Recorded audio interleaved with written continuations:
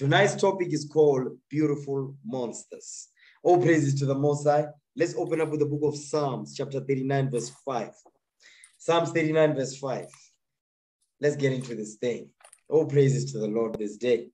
Okay, let's get that. Psalms 39, verse 5. Read what you got. The book of Psalms, chapter 39, verse 5. Go ahead. Behold, thou hast made my days as an hundred, as an handbreadth, and mine age is as nothing before thee. Mm. Verily, every man at his best state is altogether vanity. Selah. You see what Deacon David is saying? He's prophesying in the spirit. He says, Verily, every man at his best state is altogether vanity. So, what is King David prophesying? He's prophesying that in the last days, you understand, men and women will be what? Will be faking the funk. That's what he's saying right there. He says, Verily, every man in his best state is altogether vanity. Selah. Go ahead. Verse 6. Read. Verse 6. Surely every man walketh in a vain show. They do what? Surely every man walketh in a vain show. He says, surely. So this is a fact. This is not an opinion. It's a fact. He says, surely every man walketh in a vain show. Meaning what? Putting up a front, putting up, putting, putting on a show, acting. They are not sincere. They are not moving in the spirit of sincerity and in truth. They are pretend everything is all good when everything is not all good. Read that again. Verse 6. The book of Psalms, chapter 39, verse 6. Go ahead. Surely every man walketh in a vain show. Mm, Surely they are disquieted in vain. Come on. He heapeth up riches and knoweth not who shall gather them. So what is King David saying? He says, everybody walketh in a, in a vain show. He says, everybody in their best estate, they are just faking it. Okay? They walk in a vain show. They put up a, they put on a show. You understand? They put on a show. They are rehearsing for Hollywood. You understand? That's what he's saying right there. Now watch this. Get that in John 4. Give me John chapter 4, verse 24. This is what the commandment, that this is the commandment right here. This is what Christ said unto us. What you got? The book of John, chapter 4, verse 24. Read. God is a spirit, and they that worship him must worship him, must worship him in spirit and in truth.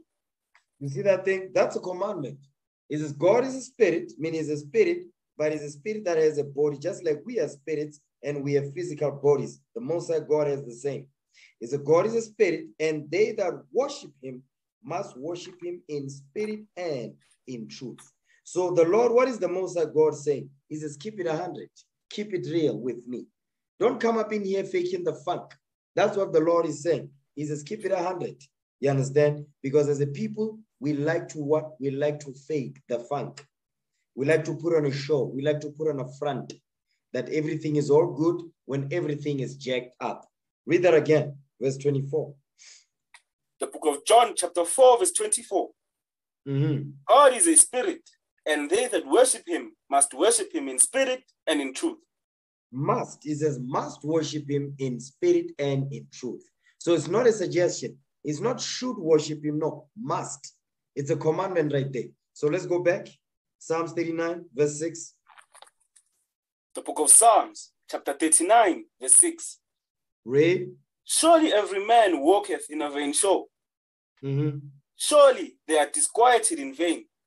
Come on. He heapeth, he heapeth up riches and knoweth not who shall gather them. You see that thing? So the Lord is saying, every man walketh in a vain show. Now watch this. The book of Isaiah, chapter 65, verse 5. Go ahead. Which say, Stand by thyself, come Mhm. not come not near to me, Come on. for I am holier than thou. For I am what? For I am holier than thou. Because that's the that's the that's the same spirit that King David is talking about. That's the same spirit that we read in Psalms 39, verse 5 and 6. Read that part again. The book of Psalms, chapter 65, verse 5. No, Isaiah. Say, Isaiah. Isaiah, not Psalms. Isaiah 65, verse 5. Read.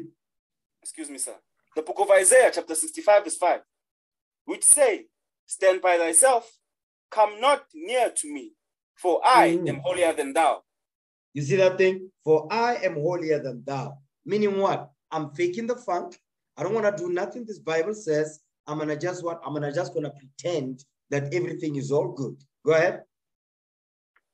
These are a smoke in my nose, You see what God is saying? He says, These are a smoke in his nose. They make him sick. Go ahead. a fire that burneth all the day. A fire that burneth all the day. So, what is the Lord teaching us? The Lord is teaching us that we must not fake the funk. We must keep it a hundred. You understand? In this truth, we must move in the spirit of sincerity and in truth. It's not a suggestion; it's a commandment. Okay. Now, watch because watch this. Think about it like this, right? Because the Most High God, when Christ walked the earth, the scribes and Pharisees they they thought everything is all good. They acted as if like everything is fine. You understand? They don't need the they don't need the laws. They don't need to be corrected. They don't need to repent. They know the laws. They don't have to hear anything that Christ has to say. That was the mindset of the scribes and Pharisees. Today, that's the mindset of the Christian church. And that's the mindset of some Israelites I know. Okay, now watch this. Give me the book of give me the book of Mark real quick. I'm going to show you how Christ dealt with this thing. Mark. Okay, give me Mark chapter 2. Give me Mark 2. Mark chapter 2 and verse 17. Watch this. Remember, he was dealing with the scribes and Pharisees right here. What? Watch this. Give me that in um, you know what? Start at verse 15. Okay, Mark chapter 2, verse 15. We're gonna read down. Come on, The book of Mark, chapter 2, verse 15. read. And it came to pass that as Jesus sat at meat in his house, many publicans and sinners sat also together with Jesus and his disciples. Read. For there were many, and and they followed, and they followed So him. now there, there were many of our, our forefathers and foremothers that followed Christ. He says publicans and sinners. The publicans, these were tax collectors. The sinners, that's obvious. They were breaking God's commandments. He says they sat with Christ and his disciples. And he says, for there were many and they followed him. You understand? Go ahead. And when the scribes and Pharisees saw him eat with the publicans and sinners, Mhm. they said unto his disciples, How is it that he eateth and drinketh with publicans and sinners? You see what they're asking? The scribes, and of course, the scribes and Pharisees, they were think they were saying, listen, we are on a higher level. You understand? We are up there. So we're not gonna come down there and be talking to the commoners. You understand? That's how they were. So it is the Christian pastors today. You understand? So is some brothers and sisters in this truth. They think that they got it together. They don't have to seek counsel. And when you when they seek counsel, they lie, they manipulate, they just fake the funk. Okay, read on. Watch this. Go ahead. Come on. Verse 17. When. Jesus heard it, he said Mm. unto them, They that are whole have no need of the physician, Stop right there. So it says they that are whole, they don't need a physician. So he's being sarcastic. He's chopping them up. He says they that are whole, they don't need a physician. You understand? Go ahead. but they that are sick, I Mm. come not to call the righteous, but sinners to repentance. Because what was he saying to the scribes and Pharisees? He says, No, no, you are whole. You perfect. You understand? But guess what? Those were a smoke in his nose, a fire that burned continually. Because he is saying, listen, it says, they that are whole need no physician. They no need for a physician, but they that are sick. Meaning those that say, you know what? I've got problems. I'm dealing with stuff. Somebody help me. Those are the ones that Christ says, those are the ones that I want to deal with because those ones, they acknowledge that they have issues. And guess what? They need help to deal with their issues. It says, I came not to call the righteous, but sinners to repentance. So who was he calling the righteous? The scribes and Pharisees. But were they righteous? No, there was not. But he was being sarcastic. He was cutting them. You understand? Give me Luke chapter 15, chapter 15, verse 7. Luke 15 and verse 7. Watch this. The book You know Luke, what? Hold on. Let's start at verse, let's start at verse 4. Luke 15, verse 4. We're gonna read down. Watch this. Come on.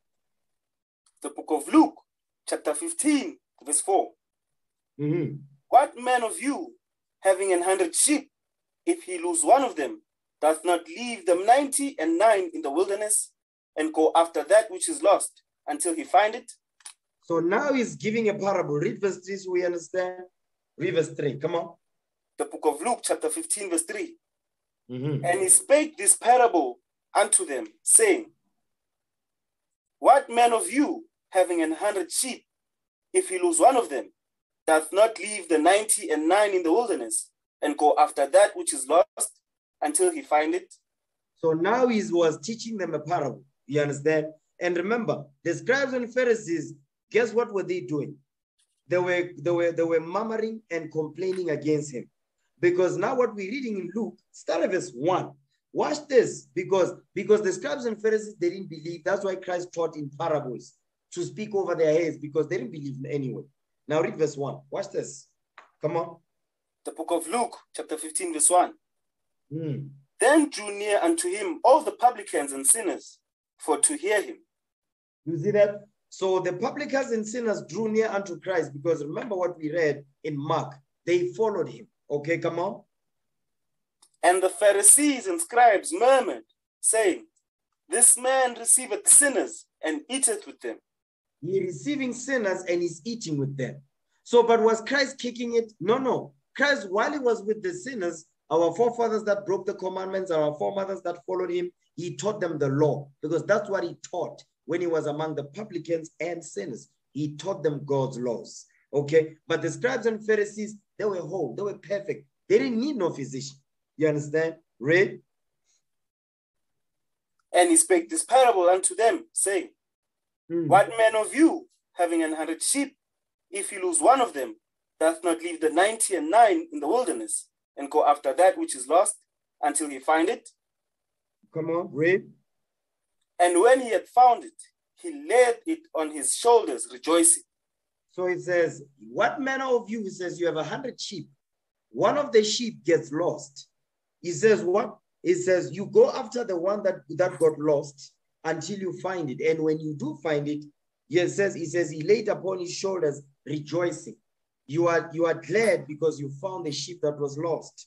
Go ahead. And when he cometh, and when he cometh home, he called together his friends and neighbors, saying unto them, Rejoice with me, for I have found my sheep which was lost. And the friends and neighbors is talking about his own people. The friends is, is brothers and sisters that keep the commandments. The neighbors is what? Your neighbor, the, the children of thy people, saying unto them, Rejoice with me. For because I have found, that's what the word for means, for I have found my sheep which was lost. Go ahead. I say unto you, that likewise joy shall be in heaven over one sinner that repented. Now stop right there. It says, I say unto you that likewise, meaning the same way that you have that one sheep that got lost out of a hundred sheep, it says, likewise shall in heaven over one sinner that repents. So the Lord says, one sinner that repents, he says, there's joy up there in the heavens. Go ahead.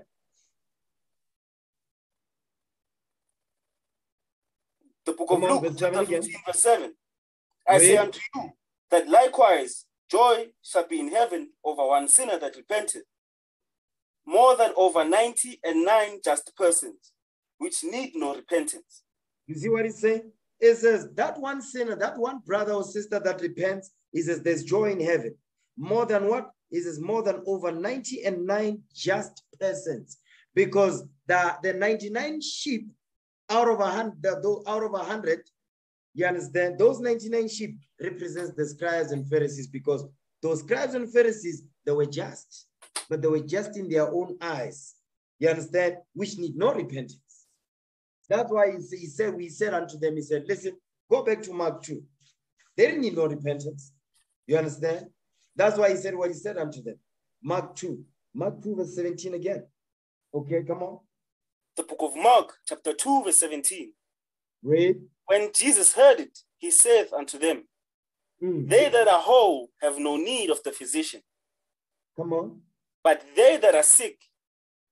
I am I come not to call the righteous, but sinners to repentance. So the, the righteous is what the righteous is the just persons that, no, that need no repentance.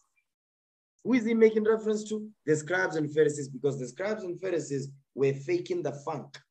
You understand? They were faking the funk. They were not being real. They didn't keep it real with the Most High. Neither did they keep it real with the Lord. Neither did they keep it real with themselves. You understand? They deceived themselves. Okay? That was the problem with the scribes and Pharisees. They were faking the funk. They were beautiful monsters because they beautiful garments. They look bad to the bone outside. You know, they would wear these kung fu fringes. You understand? These beautiful bad garments, but they didn't keep no laws. You see that thing? They look beautiful on the outside, but inside they were a bunch of monsters. Okay, watch this. Give me Luke 20, verse 20. Luke chapter 20, verse 20. Read that for me. Come on. The book of Luke, chapter 20, verse 20. Come on. And they watched him and sent forth spies, which should feign themselves just men. Stop right there. You see that part right there? The day is the scribes and Pharisees and the chief priest in verse 19. Read verse 19 so we get it. The book of Luke, chapter 20, verse 19. Mhm. And the chief priests and the scribes, the same hour, sought to lay hands on him. You see that And they, So the chief priest and the scribes, jump down to verse 20 now. the book of Luke, chapter 20, verse 20. Mhm. And they watched him and sent forth spies, which should feign themselves just men. So now, the same way the scribes and Pharisees were faking the funk, guess what? The people, the spies, that the scribes and Pharisees, the watchdogs of the spy, the scribes and Pharisees, guess what they did? They also, they were moving in the same spirit as their what? As the scribes and Pharisees and the chief priest, meaning they were faking the funk. They, that's why it says he sent for, they sent for spies, which should feign themselves just men, meaning pretend to be righteous. You understand? That, that, that's what they did. That's what the scribes and Pharisees did against Christ. You understand? So they, they sent beautiful monsters just like themselves to fake the funk because they thought they could deceive the Son of the Most High. Walking on earth, are you kidding? Go ahead. Come on. That they might take hold of his words, Mm. that so they might deliver him unto the power and authority of the governor. Meaning, because that the power of the authority of the governors took about Rome, Pontius Pilate, because they're the ones that delivered that delivered Christ to Pontius Pilate, the Roman authorities. Okay, now watch this. Give me Jude chapter 1, verse 4. Jude. Let's go to the apostle Jude. Jude chapter 1 and verse 4. Watch this. Jude 1, verse 4. Come on. The book of Jude, chapter 1, verse 4. Go ahead. For there are certain men crept in unawares, Mm. who were before of old ordained to this condemnation, ungodly Right. men, Mm. turning the grace of our God into lasciviousness, and denying the only Lord God and our Lord Jesus Christ. You see what it's saying? Is that there are certain men crept in unawares, meaning they've crept in into the congregation and we are unaware of them. That's what the Lord is saying. So those are those that will feign themselves just men. They will they will fake the funk. You understand? It says certain men crept in unawares, who were of who were before of old ordained to this condemnation. These men were, these are all spirits. That's what the Lord is telling us. These are all spirits that are back in these last days. The same spirits that was back then, they are back this day.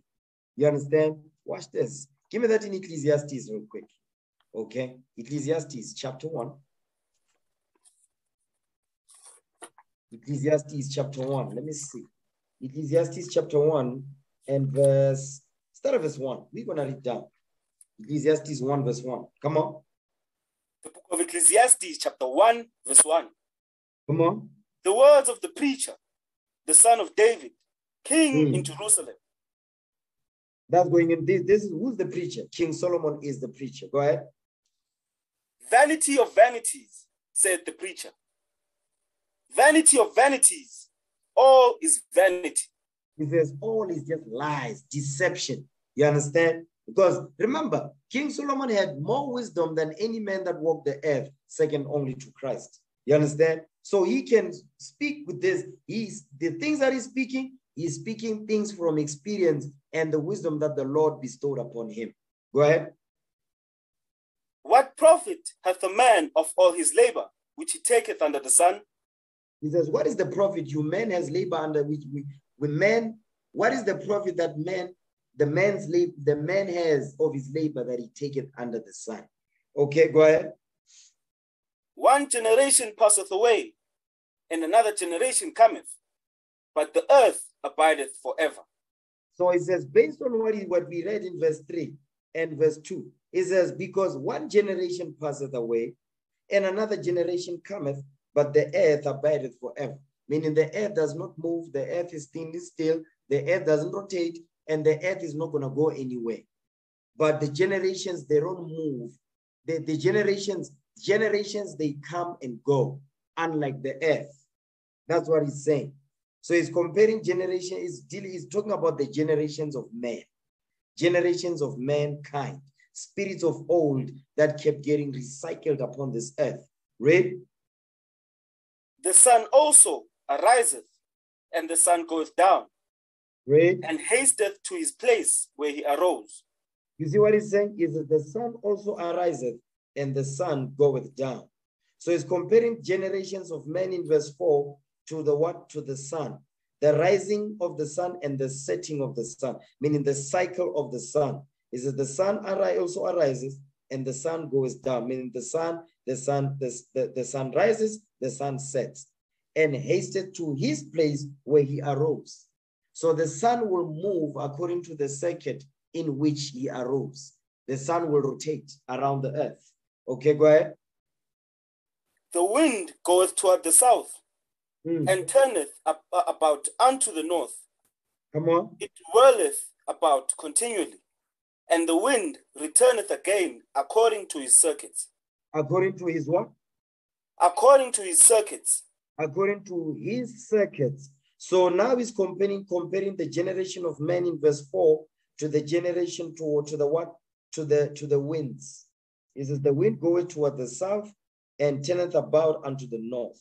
It whirleth about continually. So the wind blows continually, and the wind returneth again according to his circuits. Meaning the wind will move according to the path, the circuitry in, in which it was what it was put in. The, the wind is not going to go into another realm where it's not supposed to be. Uh, just like the sun is not going to go into another realm which is not supposed to be, because that's not how the Lord commanded it. You understand? Go ahead. All the rivers run into the sea, Mhm. yet the sea is not full. Come on. Unto the place from whence the rivers came, from, from whence the rivers come, thither they return again. So now he's going into what is, is comparing the generation of men to the rivers that run into the sea. He says, Yet the sea is not full. You understand? He says, Unto the place from whence the rivers come, thither they return again. So guess what? You see, the rivers run into the sea, but the sea never overflows. You understand? Because you've got the sun's energy that will hit the surface of the sea, and then it causes what evaporation. So everything moving according to its circle, just like the generations of men. They are like that. They come and they go. That's what King Solomon is explaining to us here. Read on. All things are full of labor. Man cannot utter it. The eye is not satisfied with seeing, nor Read. the ear filled with hearing. Meaning, meaning what? You're not gonna be able to. You're not gonna know everything. You're not gonna understand everything. That's why it says no ear, no, no the ear filled with hearing. Read on. The thing that hath been, it is that which shall be, Come on. and that which is done is that which shall be done. And there is no new thing under the sun. So now what he's explaining is says the thing is that the thing that has been is that which shall be. Meaning the thing that has been in the past is that which shall be in the future. That which was done in the past is that which shall be done in the future. And there is no new thing under the sun. What is this thing that he's talking about? Get the book of Ecclesiastes, chapter 6, verse 10. let's understand what is the thing he's making reference to. Come on. The book of Ecclesiastes, chapter 6, verse 10. Read. That which hath been is named already, Mhm. and it is known that it is man. It is what? And it is known that it is man. It says that which has been is named already. It is and it is known that it is man.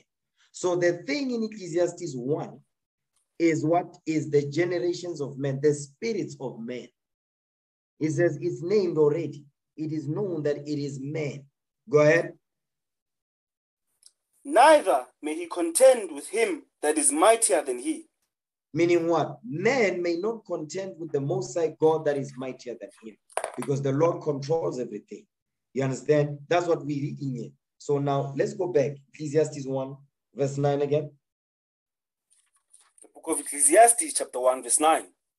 Go ahead. The, the thing that hath been, it is that which shall be.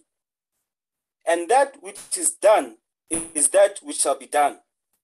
And there is no new thing under the sun. Meaning there's no spirit, there's no new spirits on this earth. You understand? That's what he's saying. There's no spirit on this earth that is new. Every spirit that is on this earth has been here before. They've all been here before. Go ahead.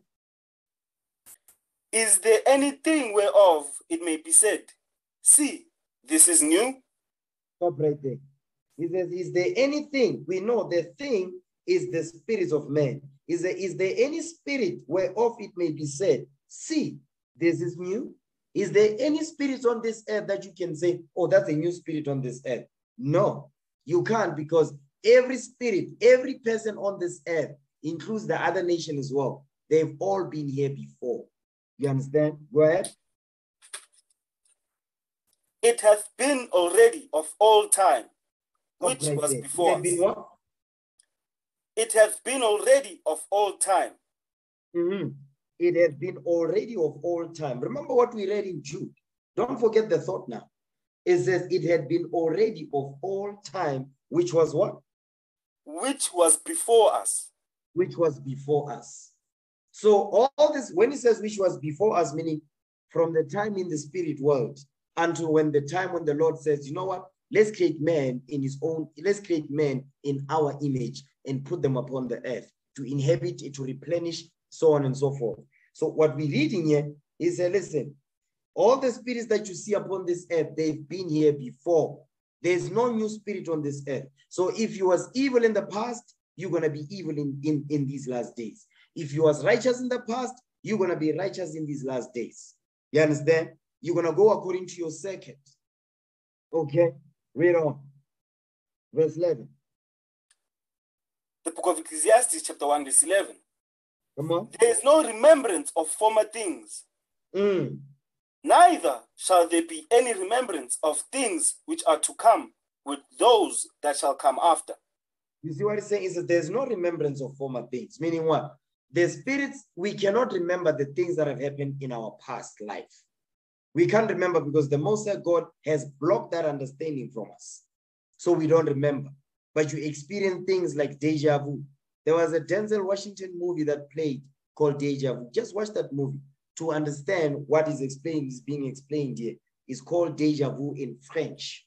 Okay? So it says, There's no remembrance of former things, neither shall there be any remembrance of things that are to come with those that shall come after.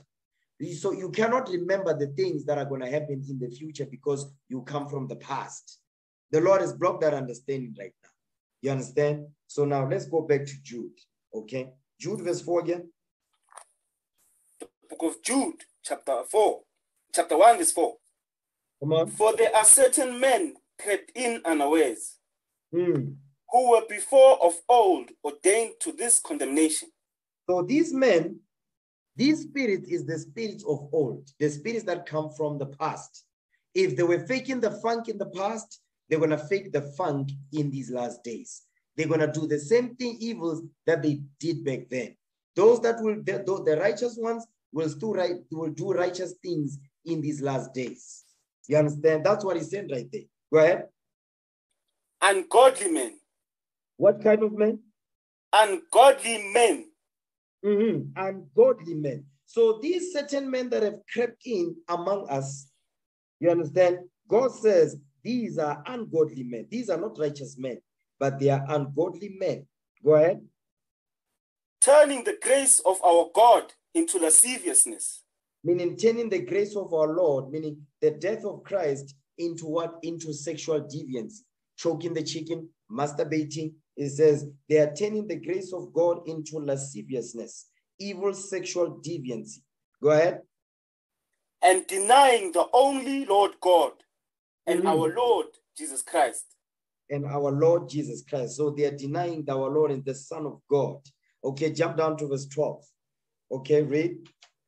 The book of Jude, chapter 1, verse 12. Come on. These are spots in your feasts of charity, So these same men that have crept in unawares in verse 4, it says they are spots in your feast of charity. The feast of charity goes into what? Loving your neighbor as yourself, brotherly love, brotherly covenant. Give me that in Psalms 133, verse 1. These are spots in your feasts of charity. Psalms 133, verse 1. Let's read that. Come on.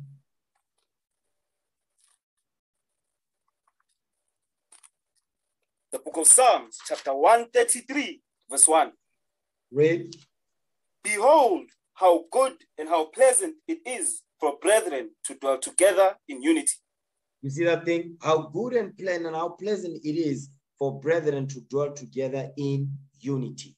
That's the charity. That's our feast of charity when we come together to show brotherly love and to glorify the Father which is in heaven, to beautify the Most High.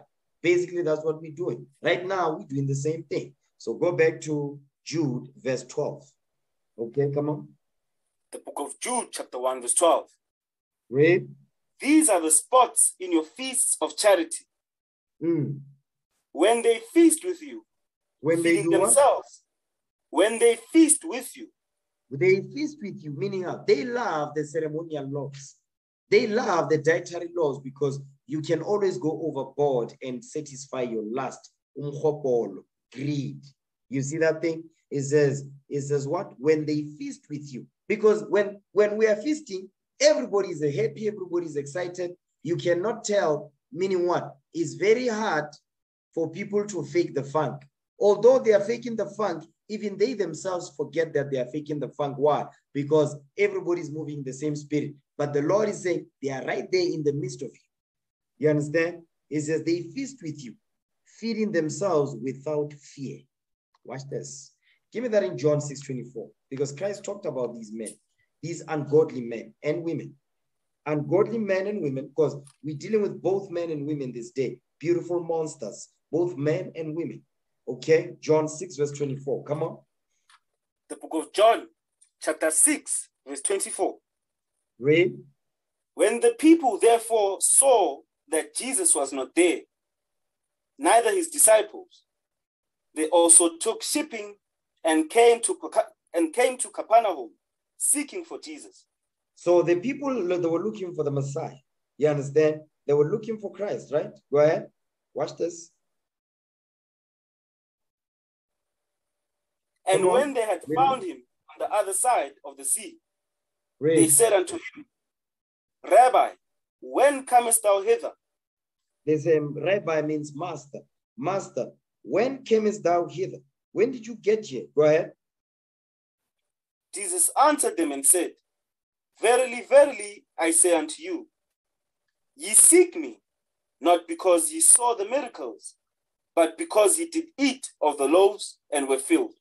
You see that thing? He says, the reason why you're looking for me, the reason why you are following me, the reason why you, you are among us is because of what? Is because you did eat of the loaves and were filled. You did eat of the loaves and you were filled. You are not following me for the right reasons, Christ is saying. He's telling them. He says, You are faking the funk because they were following Christ as long as the benefit was there. Once the benefit the once, once the benefit ends, they also disappear. You see that thing? They are only there for their own occasion. Give me that in Sirach 6. Okay. Ecclesiasticus chapter 6. They are not following Christ because of the miracles and the works that he's doing. No, they are following him for the loaves and for the food. Some they come for camp, some come for the camp, They come to camp, we go to war, we eat at the end of the camp. Some only come because we, we have we have bread, we have fruits and so forth. You understand? Some come because there's these high holiday feasts that God gave unto us. The new moons, the, the high holidays, the feast of dedication, the destruction of Nicanor, Passover, so on and so forth. That's what the Lord is saying. Get that in Sirach 6 and verse verse verse 10. Sirach 6 verse 10. You know what? No, verse 8. Sirach 6 verse 8. Okay, read them. The book of Ecclesiasticus, chapter 6, verse 8. For some man is a friend for his own occasion, and not when and will not abide in the day of, of thy trouble. You see what he's saying? is says, For some men is a friend for his own occasion. That's the occasion is what? They did eat of the loaves and were filled. That's the occasion. That's the only reason why they are following, following the Son of Man. You understand? It says, and will not abide in the day of thy trouble. When trouble comes, now you you going through things and so forth, guess what's going to happen? They're going to show their true colors. They will disappear out of your life. They will avoid you. You understand? So on and so forth. You'll start to see that they will start acting strange around you. Why? Because now there's trouble now. That's what Christ is saying right there. Okay, now let's go back. John 6. John 6, verse 28 again. I mean, verse 26. Once again. The book of John, chapter 6, verse 26. Go ahead. Jesus answered them and said, Verily, verily, I say unto you, ye seek me, not because you saw the miracles, but because you did eat of the loaves and were filled. You see what it's saying? But you did eat of the loaves and were filled. Next verse, read. But this is what he commanded us that this is where our mindset must be. Go ahead. Labor not for the meat which perisheth. You see what he's saying? He says, Don't labor for the meat which perisheth. Because the, the, the, the physical food that you eat, those things they perish. You understand? It's only there, it's only for your body, that's it. But the wisdom, knowledge, and understanding, and the, the, the, the spirit of repentance, you understand, is what? That endures forever. That's what he said right there. Read that part again, verse 27. The book of John, chapter 6, verse 27. Mhm. Labor not for the meat which perisheth, but for that meat which endureth unto everlasting life. So the meat Which that endures, and hold on, the meat that endures unto everlasting life is talking about what? You keep the commandments, you get the kingdom, because that endures forever, and you're gonna live forever. Go ahead. which the Son of Man shall give unto you. Mm. For him hath God the Father sealed. Because Christ is sealed. Christ is just waiting, waiting to receive his kingdom. Who is he waiting for? He's waiting for the 144,000 men, 12,000 men from each tribe that are going to be what? That are going to be joint heirs with him. That's what Christ is waiting for. Understand that thing. This is some heavy stuff right here. Watch this. Um, let's go back. Go back to Jude. Okay, Jude verse 12. Read what you got. The book of Jude, chapter 1, verse 12. Go ahead. These are spots in your feasts of charity, Mm. When they feast with you, feeding themselves without fear. He says they are feeding themselves without fear. So they feast with you, they be just nyoffing, nyoffing food and all of that. You understand? Saying, ah, shalom, brother, all praises to the Most High God, you know, happy feast of dedication and all that. But I don't mean none of it. They don't believe none of this Bible is saying. They're only there because they are only there because they are laboring for the meat that perishes. Go ahead. Clouds they are without water, He says they are clouds without water. Because you know when it's about to rain and it's all cloudy, you think it's gonna rain and it doesn't rain. He says they are like that. It seems that you know what? They really they, they're gonna bring forth rain, which is wisdom, knowledge, and understanding, and they don't bring it. You see that thing? Clouds without water. So they look the part, but really they are shallow. Okay, go ahead. Carried about of winds, They are carried about of winds. Give me that in Hebrews 13, verse 9. Carried about of winds. These men, he says, they are carried about of winds. These men and women, they look the part. They, are, they look beautiful on the outside. They are beautiful. They are beautiful on the outside, but inside they are monsters. Okay, read Hebrews 13 of- verse 9. Come on, The book of Hebrew, chapter 13, verse 9. come on. Be not carried about with diverse and strange doctrines, That's it right there. Don't be carried about with strange with about with diverse and strange doctrines. Because the winds goes into what strange doctrines. Because they are filled with doctrines, not the true doctrine of Christ. You understand? No, they are not filled with that. They are filled with unholy demons. Okay, go back to Jude. Jude, verse 12 again. The book of Jude, chapter 1, verse 12. Mhm. These are spots in your feasts of charity. When they feast with you, feeding themselves without fear, Come on. clouds they are without water, Carried clouds about. they are clouds they are without water. Go ahead. carried about of winds, carried about of winds, meaning strange and diverse doctrines. Go ahead. trees whose fruit withereth, Mm. without fruit, You see that thing? It says trees whose fruit withereth, because now is harvest season. You seem like, because it seems like it is spring, it's spring season. Spring, that's when things are blossoming and so forth. You understand? You just to start ears coming out and so forth. Then we are all waiting for fruits to come out. The Lord says, it says what? It says trees whose fruit withereth. the fruit withers, meaning their understanding fades. They meaning what? There is no understanding. It seems like there's understanding, but it's not there. They look the part, but inwardly they are full of what? They are full of BS. That's what the Lord is saying right there. You understand? It says what? Without fruit, no understanding. There is no fruit of the spirit. Give me that in Galatians 5. Okay. Galatians 5 verse 22. Let's read that. This is the fruit he's making reference to. Go ahead. Book of Galatians, chapter 5, verse 22. Go ahead. But the fruit of the Spirit is love, Read. joy, peace, long suffering, gentleness, goodness, faith, You see that? It says, but the fruit of the Spirit is love. Love, which is keeping the commandments, teaching the commandment, joy. We must have the spirit of joy, brothers and sisters. When you see that it's very hard for you to get a laugh, a laugh out, it's difficult for you to laugh, you don't have the, you can't smile and so forth. Listen, you got the devil on. Peace, long suffering, meaning endurance, gentleness, goodness, faith meekness, temperance. Against such there is no law. That's verse 23. So these are the fruits of the spirit right here. But these men and women that have crept in unawares, they don't have the fruit of the spirit. Okay, so let's go back.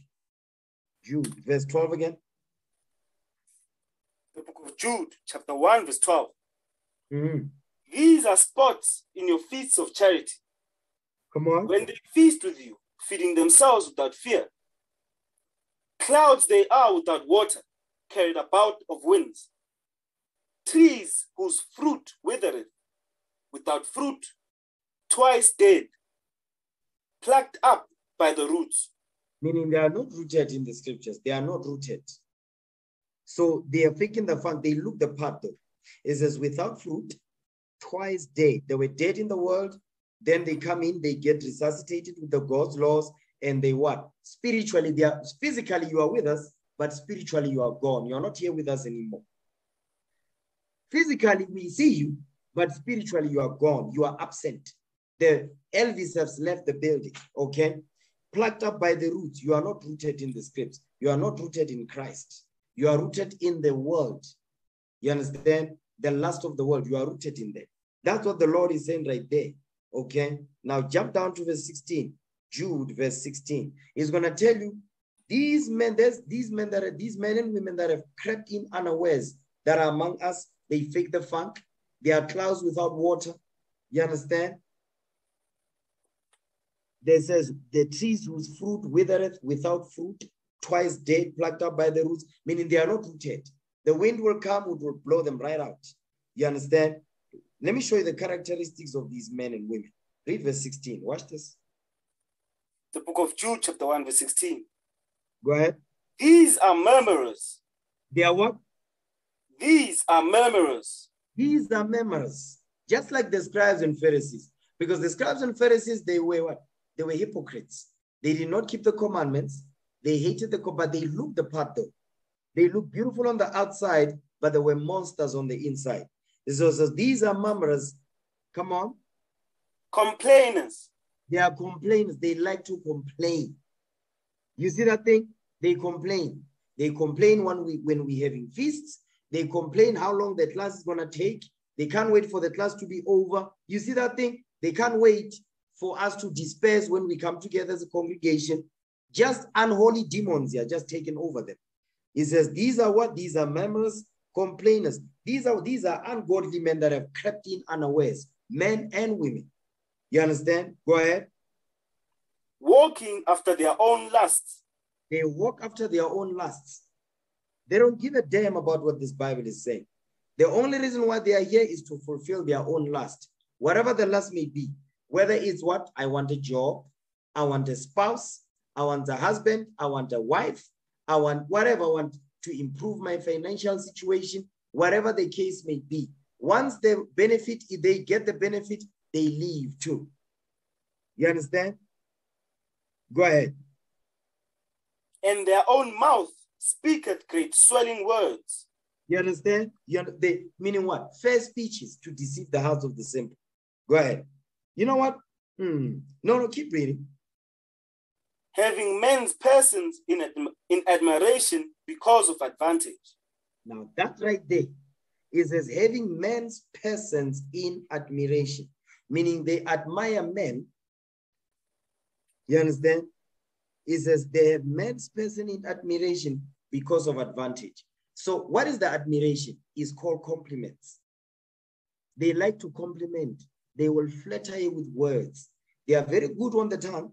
You understand? It as having men's person in admiration because of advantage. Because when they flatter you, they think now they have an advantage over you. That's the men and women that have crept in unawares. You see that thing? That's what we read. That's what Jude is explaining here, the Apostle Jude. Okay, now watch this. Now give me the book of Matthew 23, 27. Matthew chapter 23, verse 27. Watch this. The, the complainers, the same complainers that we read about, reading about in Jude, verse 16, there is the same men and women that have crept in unawares. You understand? These are ungodly men and women. Now read what you got. Matthew 23, 27. Read that. Come on. The book of Matthew, chapter 23, verse 27. Come on. Woe unto you, scribes and Pharisees, hypocrites, Come on. For ye are like unto whited sepulchres, Sepulchre. Because a sepulchre, when we were watching that movie Bond, you understand? Even when you go to some places in the Bundus, Limpopo, Thohoyandou, uh, so on and so forth, you'll start to see that some people they bury them in sepulchres. Like Wawana, when the it- it's it's it's like a very stony place. There's a lot of places in Limpopo like that. So instead of digging a hole in the six feet under, they build a sepulchre and they bury the people in there.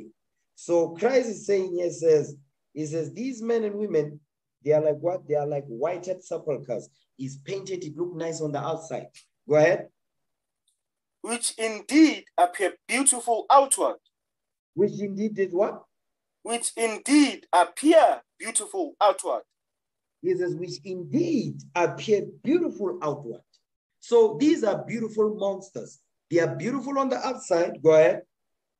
but are within full of dead men's bones Come on. and of all uncleanness. You see what the Lord is saying? This is Christ speaking, by the way. It says, but within, on the inside, their spirit is not right. Their personality is messed up. You understand?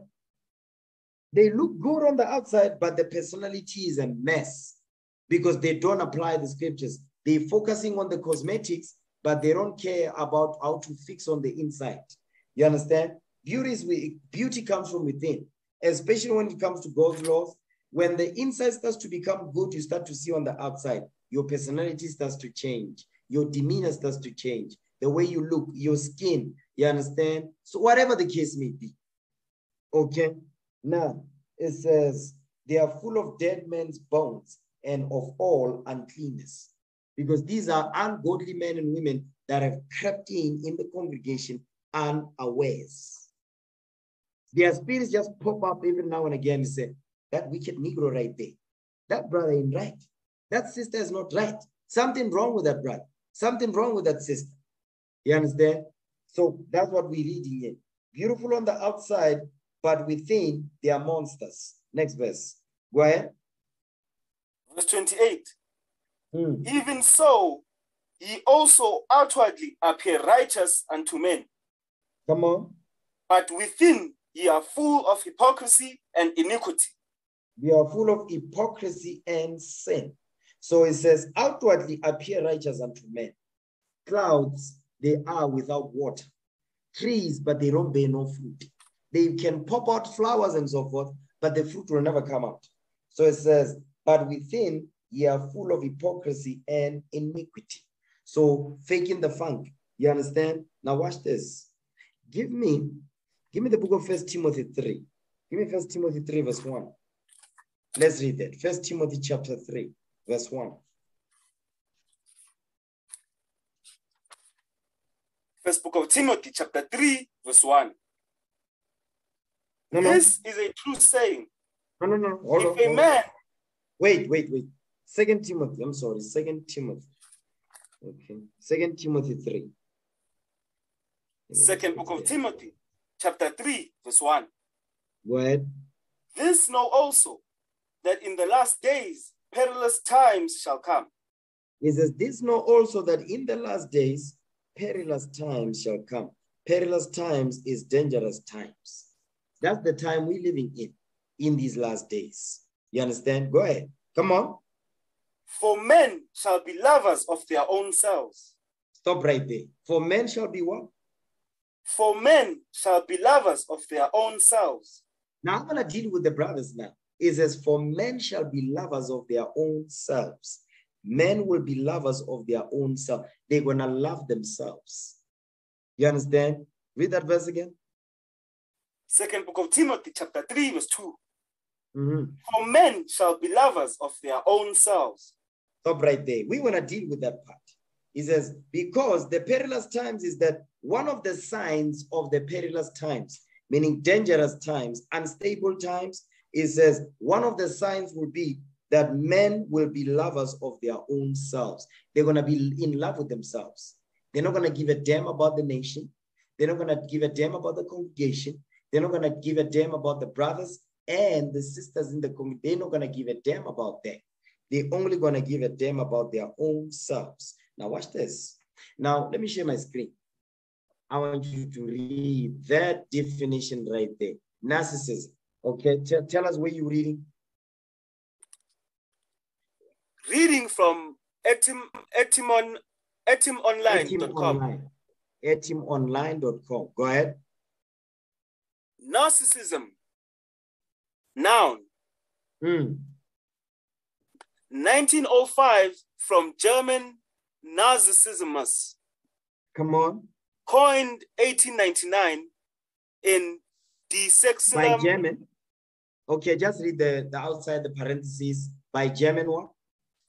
by German psychiatrist Paul Näcke. 1851, 1851 to 1913. So this term was coined in 1899. Go ahead.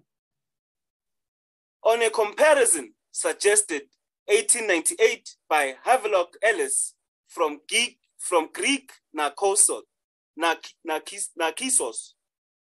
name of a beautiful youth in mythology.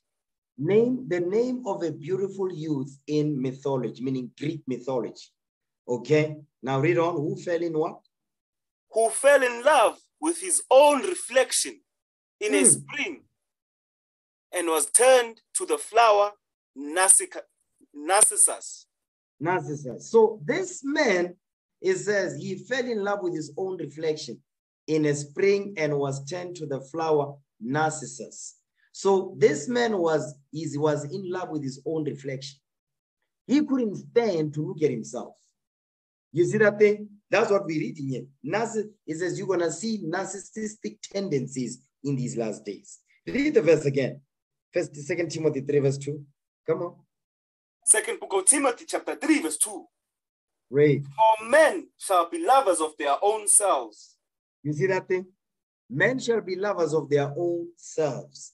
That's what we read in here. Narcissism. A man who fell in love with his own reflection. He fell in love with his own reflection. Now, go back to the definition.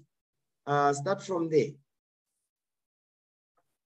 Narcissus himself, as a figure of self love, is attested by 1767. So, is this self love really? No, this is self obsession. He was extremely obsessed about himself. That's what we're reading right here. You understand? Now, let's go outside of that. Let's X out of that. Okay. Now go back to Second Timothy 3, verse 2 again. Second book of Timothy, chapter 3, verse 2. Mm. For men shall be lovers of their own selves. Stop right there. Jump down to verse 3 now. Second book of Timothy, chapter 3, verse 3. Mm. Without natural affection. Stop right there. So men that are lovers of their own selves, they don't have natural affection. They have unnatural affection. They have an unnatural affection towards their own self-image. You understand? It says without natural affection, because what they are lovers or they love their own selves. They don't love the Most High. They don't love God's people. You understand? They won't fight for this gospel. They won't fight for this truth, no matter what it takes. They won't do it because they love themselves too much. So when you don't submit yourself to the leadership, guess what? You love yourself too much. You don't follow instruction. You are in love with yourself. What is that called? Idolatry. You are your own idol that you've created, and now you are worshiping yourself. You see this? That's what's going on this day.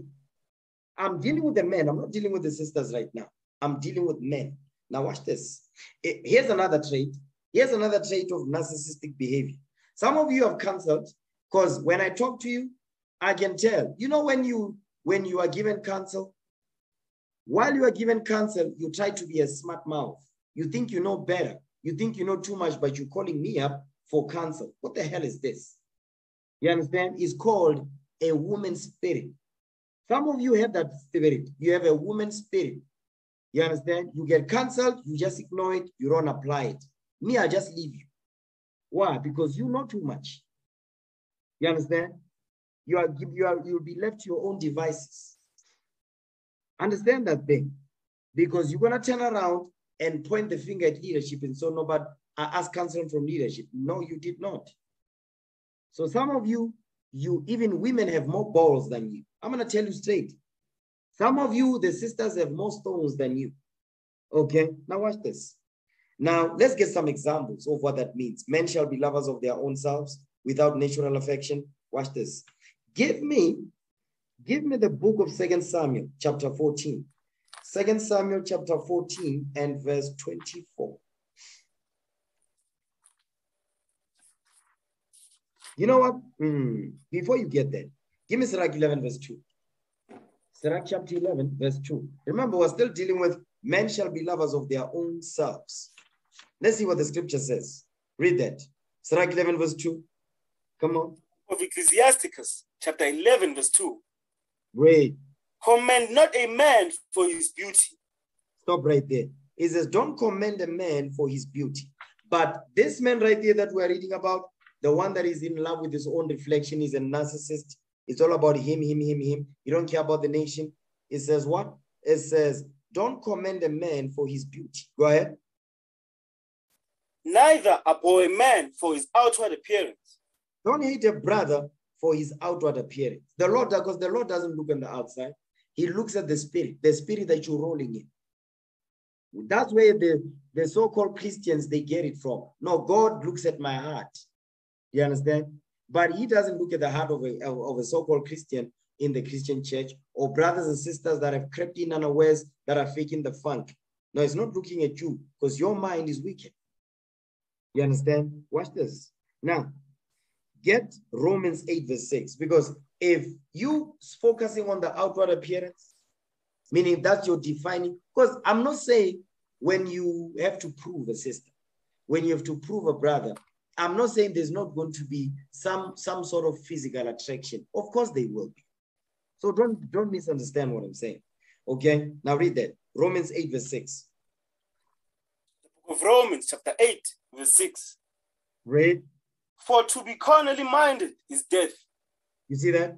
When you are carnally minded, you're gonna look for carnal things. You'll fight. You'll you'll focus on these th- the things that are carnal, not the things that are in the spirit.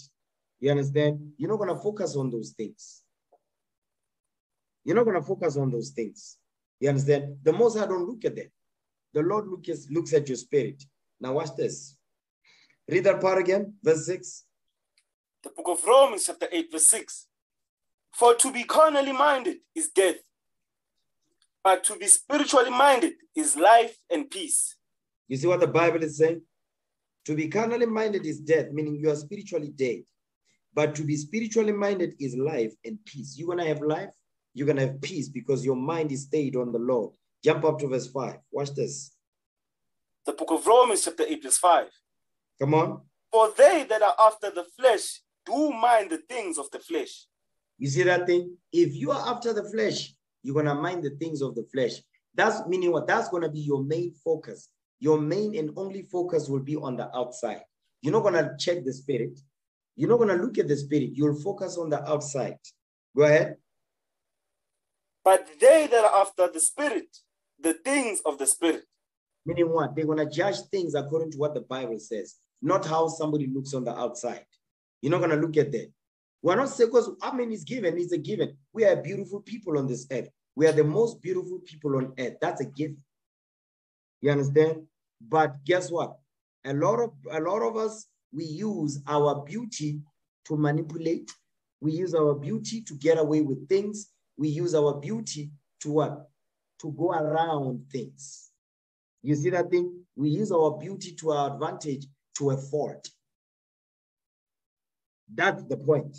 You understand? That's what it means to be carnally minded. Now, give me Second Samuel chapter 14, verse 25. Watch this. I'm going to give an, let's get some examples, okay? Second Samuel chapter 14, verse 25. Now, this is King David's son, Absalom, okay? Now, watch this. Read it. Second, Second Samuel, Samuel. chapter 14, chapter 14 and verse 25. Go ahead. Second book of Samuel, chapter 14, verse 25. Read. But in all Israel, there was none to be so much praised as Absalom for his beauty. For his what? For his beauty. So this brother right here, he was like mm, uh, Denzel Washington. He was like, you know, there you know what, you know, anybody, anybody remember that show, uh, Prison Break? You see that Yes, brother sir. that played the, the, the main actor? You know how many women um, actually used to watch that show because of that brother? Because he's a brother, his father is black, he's, he's a Judah, he's Jew, he's Judah. So they used to look at that brother and they'd be like, that's the reason why I'm watching that. You understand? They'd be looking at the other actors and all of that in that on that show, but he was the main one. The beauty and the brains. You understand? So read that again. So he was like the Absalom. Watch this. Read verse 25 again.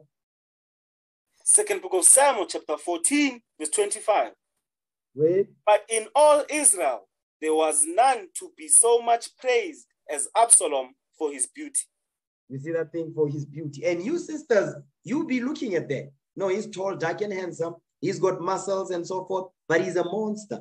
But because you are focusing on he's got big feet, he's tall, that means his, his rod is proportional, because that's how they do the calculation. I don't know where they get the formulas from, but they have, they seem to have these mathematical equations on how to measure this stuff. That's the mindset again. So that's how they look at this because they are carnally minded. So it says, there was, it says, but in all Israel. Now let's think. It says, in all Israel, all 12.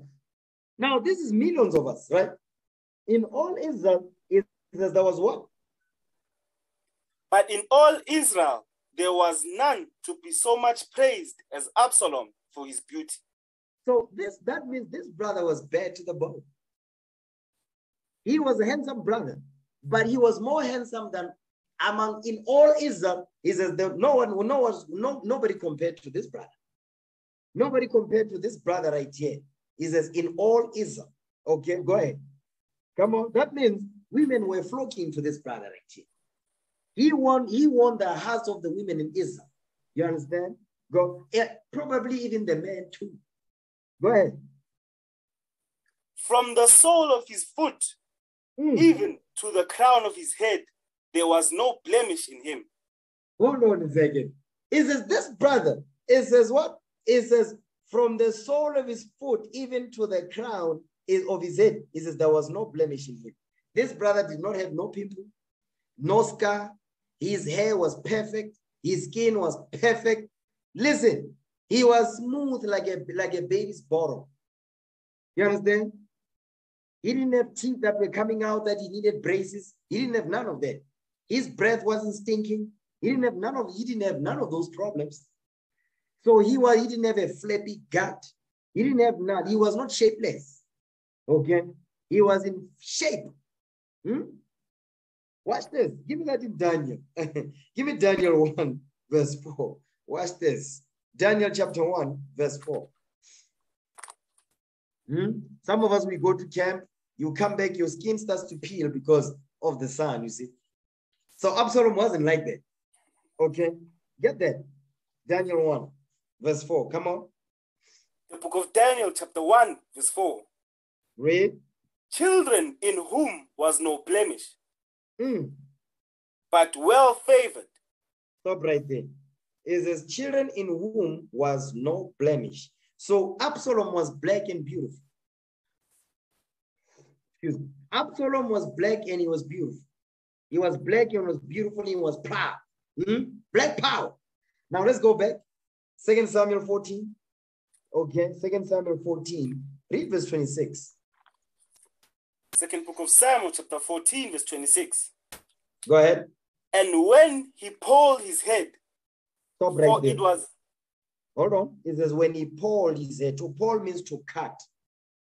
To pull means to cut, to trim the edges of your hair and so forth. Go ahead. for it was at every year's end that he pulled it. So at, at the end of at, at the end of 12 months, he would cut his hair. You understand? He's gonna tell you why. Go ahead. because the hair was heavy on him. The hair was heavy. Read. Therefore, he pulled it. So what type of hair is this? That was so heavy. I mean, he's like he because that's not this is not an this is not an afro. Okay, this is not an afro. You understand? It says because at, at the end of every year he pulled it because the hair was heavy on him. You understand? Therefore, he pulled it every 12 months. Go ahead. He weighed the hair of his head at 200 shekels after the king's weight. You see that? So this brother had, had a lot of hair. You understand? He had a lot of hair, this brother, Absalom. So what type of hair did he have? Give me that in uh, Song of Solomon. Give me Song of Solomon. Okay. Song of Solomon 5 and verse 5. Read that. Song of Solomon, chapter 5. No, no, verse 10. Verse 10. Verse 10. Song of Solomon, chapter 5, verse 10. Go ahead. My beloved is white and ruddy, the Hmm. chiefest among 10,000. Go ahead. His head is as the most fine gold. Read. His locks are bushy and black as a raven. He says his locks are bushy and black as a raven. So Absalom, he had dreadlocks. You understand? Absalom had dreadlocks like Soldier Samuel. He had dreadlocks. So he had such, his hair was growing so fast, so quickly that at the end of the year, he had to go and cut it off. So you see those brothers that have dreadlocks that get to the foot, those type of brothers. So Absalom was like that. So every year, he would have to go and cut it. He says it weighed what? It weighed 200 shekels after the king's weight. So this brother was was handsome in every way. Beautiful hair. He didn't have the hair, the type of hair that we have. You understand? You know that my hair don't grow. The hell is this? You see that thing? So Absalom wasn't like that. You understand? So this guy was a beautiful brother. You understand? Keep reading. Go ahead. Come on. His eyes are as the eyes of doves by the rivers Hmm. of waters, So he was charming the sisters. Go ahead. washed with milk and fitly set. Oh, what verse you at? Verse 12, sir. No, no, no, no, no, no, not verse 12. What? No, no. Second Samuel 14. Excuse me, sir. Wait, what were you reading? Oh, wait, you were still. Okay, let's come back. Let's come back. Second Samuel 14. Read verse 27 now. Second book of Samuel, chapter 14, verse 27. Mhm. And unto Absalom there were born three sons and one daughter, whose name was Tamar. She was a woman of a fair countenance, Because he's she he's she's taking after who? Her father. Because remember, it says in verse 25 says her father was beautiful. You understand? So Tamar, the daughter of Absalom, is a, she was a what? She was a she was a woman of a fair countenance. You understand? Because she was taking after who? After her father. Go ahead. So Absalom dwelt two full years in Jerusalem and saw not the king's face. So because he had not seen his father yet. You understand? Read. Therefore Absalom sent for Joab to have sent him to the king, Hmm. but he would not come to him. And when he sent again the second time, he would not come. So now Absalom is sending Joab to go to the king on his behalf. You understand? To make sure that he wants to see the king. Because remember, he says he had not seen the king. So now he's getting Joab to go and, and speak to the king that is he's coming to see the king. You understand? So he called for Joab twice. Watch what happens next. Verse 8. Come on. Therefore he said unto his servants, See, Joab's field is near mine, Hmm. and he hath barley there. Go and set it on fire. Stop right there. Wait, wait, what? Go and set it on fire. So why is he setting the brother's field on fire for? Why is he doing that? Because he's a monster. You see, monsters are unpredictable. there. I mean, he called the brother twice. The brother did not come to go and uh, meet the king, so he can pave the way for to go and meet the king. So because he didn't, he said, okay. He says he sent for his servant. He said, okay. And Joab, he says he had barley in the field to take care of his family and so forth. He says, go set it on fire, I meaning destroy that man's livelihood. Okay, go ahead. And Absalom's servants set, this, set the field on fire. They said Joab's field on fire. Who does that? A monster. A beautiful monster. Unpredictable. Crept in unawares. Ungodly man. You see what we're reading? That's what the scriptures is be saying right there. You understand? So Absalom had a crazy demon. He was beautiful to look upon on the outside, but inwardly he was a he was full of dead men's bones. He had, he, his, his body was like a whited sepulchre, but his spirit, he was what? He was full of the devil. Because why does he? This is no reason for you to send a man's field on fire. You understand? What is he going to eat? What is he going to give to the Levites? Hmm? Watch this. Now, give me Second Samuel 15, verse 2. Second book of Samuel, chapter 15, verse 2. You know what? Get Second Samuel 14, verse 33. Then we're going to jump to 15. Okay, come on. Second book of Samuel, chapter 14, verse 33. Read. So Joab came to the king and told him. And when he had called for Absalom, he came to the king and bowed himself on his face to the ground before the king. And the king kissed Absalom. Now, at this point, the king now uh, this is his father, this King David. Okay, it says the king, and the king kissed Absalom, his son. Now, what, what I want to show you here is this. Here's a here's thing that we want. I want you, I want you brothers and sisters to observe. Jump up to verse 30. I want to show you something. Uh, Second book of Samuel. read, read, hold on. Read 29 and 30 together. Second book of Samuel, chapter 14, verse 29. Go ahead. Therefore Absalom sent for Joab to have sent him to the king. But he would not come to him. And when he sent again the second time, he would not come. Read. Therefore he said unto his servants, See, Joab's field is near mine, and he hath barley there.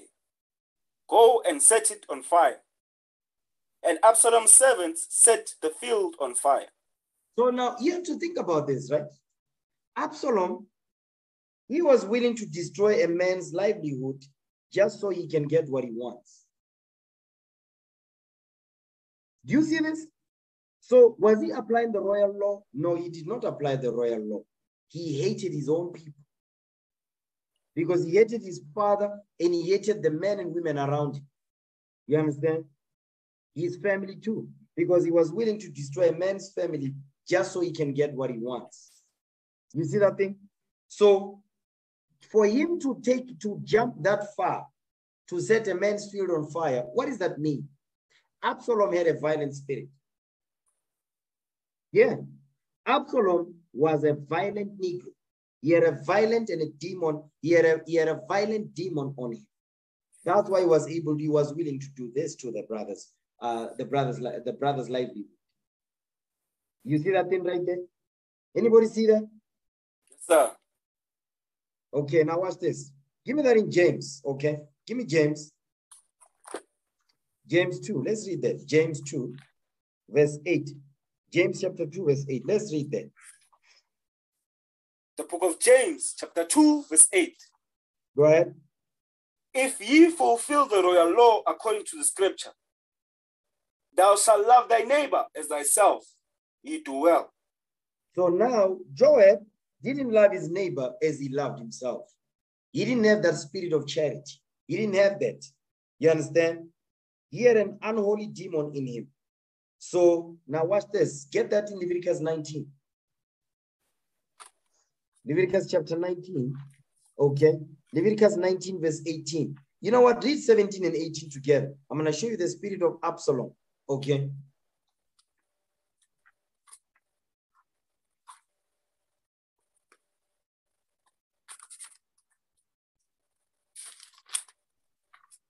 Book of. Leviticus, chapter 19, verse 17.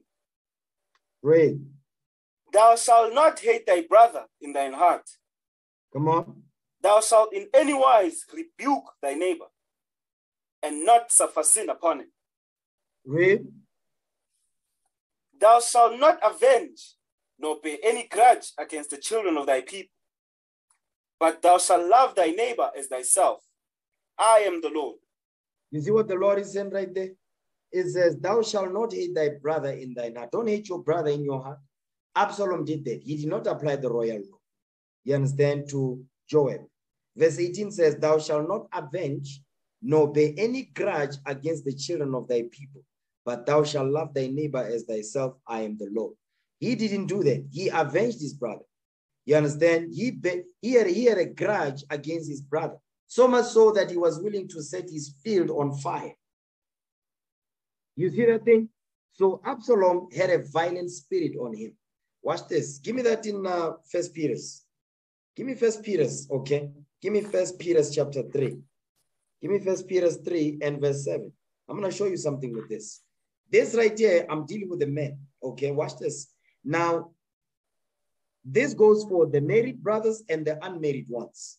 It's the same applies. Watch this. Read what you got. First book of Peter, chapter 3, verse 7. Come on. Likewise, ye husbands, dwell with them according to knowledge, giving honor unto the wife as unto the weaker vessel, Read. and as being heirs together to the grace of life, that your prayers may that your prayers be not hindered. You see what the Bible is saying? It says, likewise, ye husbands, Dwell with them, that them is your wives according to knowledge. So you deal with your wife according to the laws of God. You understand? You deal with it according to the scriptures. Watch this. Give me Ephesians 5 real quick. Ephesians chapter 5 and verse 28. He says, likewise, ye husbands, dwell with them according to knowledge. Watch this. This is what it means right here. Come on. The book of Ephesians, chapter 5, verse 28. Come on. So ought men to love their wives as their own bodies. Mm. He that loveth his wife loveth himself. You see what the Bible is saying? So ought men to love their wives as their own bodies. Because if you love your wife, you love yourself. So what you are doing is says deal with your wife according to knowledge. Guess what? It says you must love your wife as you love your own body because you, the two of you, you are one flesh. You understand? When you do something out the spirit, she it will affect her. When she does something out the spirit, it will affect you. So before you make decisions, you must always think, how is this going to affect my family? You understand that? You must think about those things. That's why it says, deal with them according to knowledge. What is the knowledge? God's laws. You must deal with your wife according to the scriptures. You're not going to put hands on your wife. You understand? You're not going to verbally abuse your wife. Because some of you brothers do that. Some of you brothers have that spirit, that violent spirit. You understand? You understand? Verbal diarrhea. You have that. You have unali verbal diarrhea. So the Lord says, deal with them according to knowledge. You understand? Get that. Let's get the law. Get the book of Deuteronomy real quick.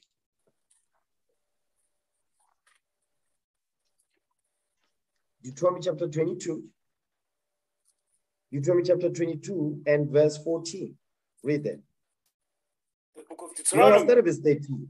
Start at verse 13. The book of Deuteronomy, chapter 22, verse 13. If any man take a wife and go in unto her and hate her, You take your wife, you understand? You deal with your wife according to husband and wife, but now you start to hate and despise your wife. Go ahead. and give occasions of speech against her, Uh-huh. And bring up an evil name upon her, Stop right there. It says, and give occasions of speech against her and bring up an evil name upon her, meaning what? Verbal abuse. You see what he's saying right there? Verbal abuse. Go ahead. and say, I took this woman, and when I came and I and when I came to her, I found her not a maid. Meaning what? She's a hoe. Okay. So, but the point here is, is going into what? Verbal abuse. You understand? Because you upset. Now, because you want to make yourself feel better, because of something she might have said, you return evil for evil. Instead of opening the scriptures to deal with the problem, you understand? You rather do what? You close the Bible, you put out this verbal diarrhea. You understand? Now you start to do things just to head the sister back. You see that thing? No, we cannot move like that. Okay, let's go back. Ephesians 5,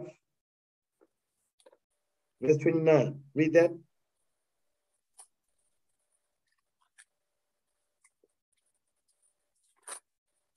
The book of Ephesians, chapter 5, verse 29. Come on. For no man ever yet hateth his own flesh, but nourisheth and cherisheth it, even as the Lord the church. You see what he's saying?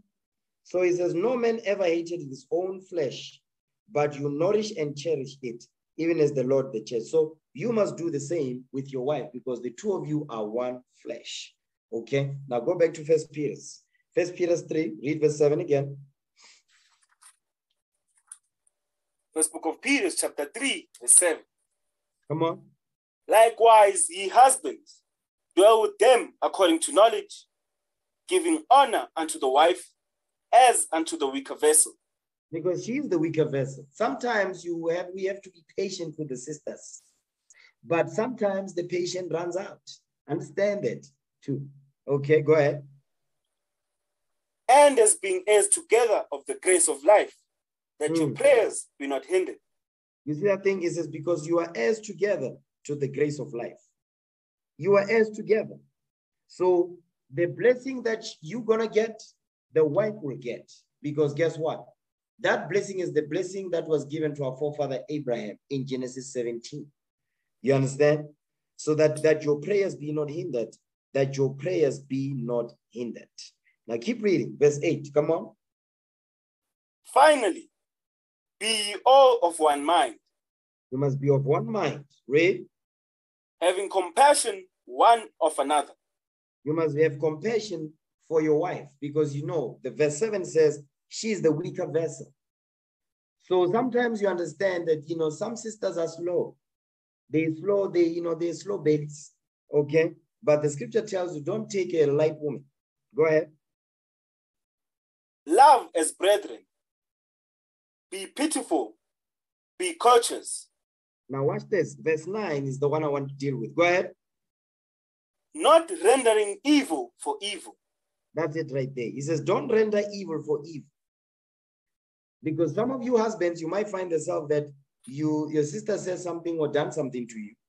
Instead of actually dealing with it according to knowledge, like the scripture says, you're gonna return the evil, you're gonna return the evil unto your wife, rendering evil for evil. Now you are even more, you're now you are a simp because you didn't open the scriptures to deal with that so that you can what? You can correct your wife according to the scriptures. Instead, you return evil for evil. Go ahead. or railing for railing, Back and forth. You understand? Read, but contrariwise blessing, read. knowing that ye are thereunto called, that ye should inherit a blessing. Because you both of you, when the husband receives the blessing, the wife will receive the blessing. The children will receive the blessing, that your prayers be not hindered. You see that thing right there? Now, watch this. Because the reason why I'm going to um, uh, Second Samuel in terms of the royal law, loving your your your loving your wife. You understand? According to knowledge. So what does that mean? Because the reason why I'm bringing this up is because when you look at the character of Absalom, he was willing to destroy a man's life livelihood because he had an unholy and unclean demon on him. You understand? He said the man's field on fire. So he had a he had a what? He did not have charity. He did not love his neighbor like he loved himself. He didn't have that. You understand? So what was Absalom's character? He was manipulative. He was manipulative. So yes, they look beautiful on the outside, but some brothers, they are very manipulative. They will manipulate the hell out of you. You understand? So when you proving sisters, you have to watch those type of traits. You understand? Don't get this, don't be deceived by the outward appearance, like the scripture says. You understand? You must check those traits. Is he manipulative? Does he have a violent spirit on him? When he does not get what he wants, even during the, especially during the proving process, how does he move? What does he do? You must check those issues to see what's going on. Do you understand? To see how he deals with matters and so forth. Now watch this. Now, manipulation, that's one of the that's one of the tactics. So you have to watch that. Very manipulative. Somebody that manipulative, that means emotionally and verbally, they are going to abuse you. So they go hand in hand. So you must watch that type of Negro. Okay, now watch this. Get Second Samuel chapter 15, verse 2. Second Samuel 15, verse 2. Second book of Samuel, chapter 15, verse 2. Read. And Absalom rose up early and stood beside the way of the gate. And it was so that when any man that had a controversy came to the king for judgment, then Absalom called unto him and said, Of what city art thou? Read. And he said, Thy servant is of one of the tribes of Israel. He says, I'm one of the tribes of Israel. You understand? I'm also part of the 12 tribes. You see what he's saying right there? I'm a Jew. I'm one of your brethren. That's basically what he's going into. Ahead. And Absalom said unto him, See, thy matters are good and right, Hmm. but there is no man deputed of the king to hear thee. You see what he's saying? So now he's intercepting the brothers and sisters that are going to the, to the king to get counsel. He's intercepting them. So because he's saying, see, thy matters are good and right. Yeah, you are right in what you want to say. But there is no man deputed to the king to hear thee. Nobody is second in charge to the king that is going to what that's going to listen to you because by default, what is he saying? The king is not going to listen to you. And if he does, he's not going to what? He's not going to he's not going to judge righteous. That's what he's saying about his own father. Absalom hated his own father. You understand? Go ahead. Absalom said, Moreover, Oh, that I were made judge in the land, Mm. That every man which hath any suit or cause might come unto me, and I will do him justice. You see that thing? So now he's saying, listen, I wish I was the judge in Israel. That's some of you. That's how you think. You see certain things that are done. In your mind, you think, I can do it better. Shut the hell up, Negro. Sit in some corner somewhere. Okay? Sit in some corner somewhere.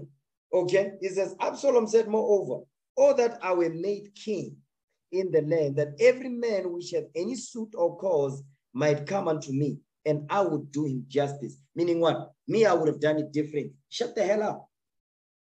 You understand? Shut the hell up and sit your ass down. Excuse my French. Because a lot of the times is that brothers, they seem they have that spirit where you think, no, I, I can do it better. This is the most I don't look at that. You brothers that think that, you brothers that say that within yourself, the Most High God will put you to the side, will raise a stone in your place. Understand that. Let me put that spirit out there. Okay. Now watch this. Keep going. Read on. Verse 5 Mm. And it was so that when any man came nigh to him to do him obeisance, he put forth his hands and took him and kissed him. You see that thing? He was battering them. So what was he doing? He was manipulating them. So some of you brothers, you are very manipulative.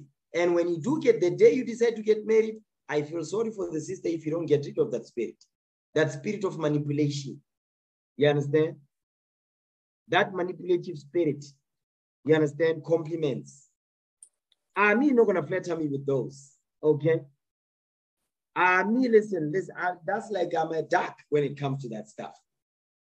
It will just slide right off. Okay. Compliment and all that, flattery of the tongue. mm-mm. You're not gonna listen. That's not gonna work up here.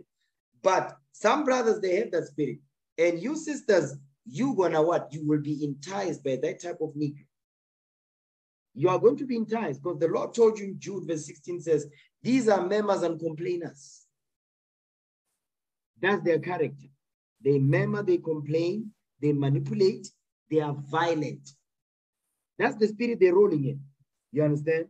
Ray. And on this manner did Absalom to all Israel that came to the king for judgment. You see what he did? He says, All Israel that came to the king for judgment, Absalom did that. He was kissing their hands, he was buttering them up. You understand? Puffing them up. Ray. So Absalom stole the hearts of the men of Israel. You see what he did? He stole. He stole. He says he stole the hearts of the men of Israel. So this was not done in sincerity and in truth. He had to manipulate, deceive, move in the spirit of what? Move like a snake. You see that thing? Now, watch this. Jump down to verse 11. Second book of Samuel, chapter 15, verse 11. Go ahead. And with Absalom went 200 men out of Jerusalem that were called, and they Hmm. went in, and they went in their simplicity, and they knew not anything. So now you've got 200 men out of Jerusalem that were called unto Absalom. He says, and they went in in their simplicity. So they followed Absalom because these were simps. You see that? These were simps and they knew not anything. You sisters, you're looking at the outward appearance, but the brother is a bum.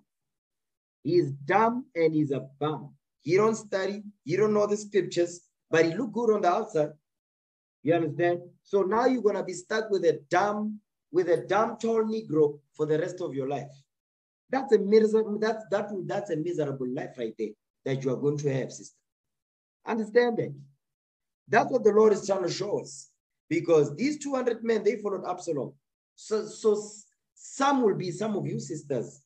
You look at the outward appearance, you understand? He, because, you know, he looked like he can lay the pipe down good. You dumb as hell. Because you are like-minded. You dumb. You like you, you are too quick to give credit to a Negro. You don't prove because you are what? You are a thirst bucket. You are thirsty. So every Negro that pops up, you just want to jump on the brand. You understand? Last. Okay. Now watch this. Now let's move on to the next, the next character. Give me Second Samuel, okay, 17 verse 1. Here's another one. Second Samuel 17 verse 1. This is Ahithophel.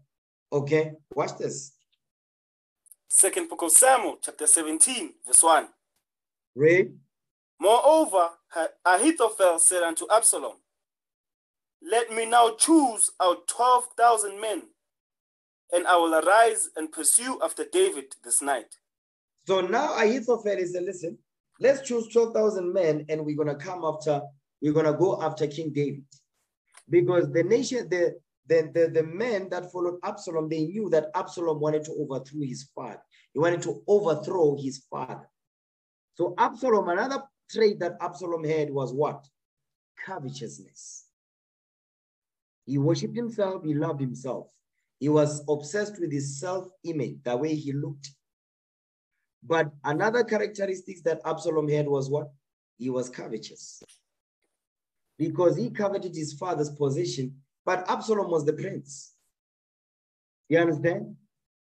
So if his father is gone, I mean, who's going to take the, the, the, the, the, the, position? He will. But Absalom wasn't satisfied with that. You understand? He was covetous. Read on, verse 2.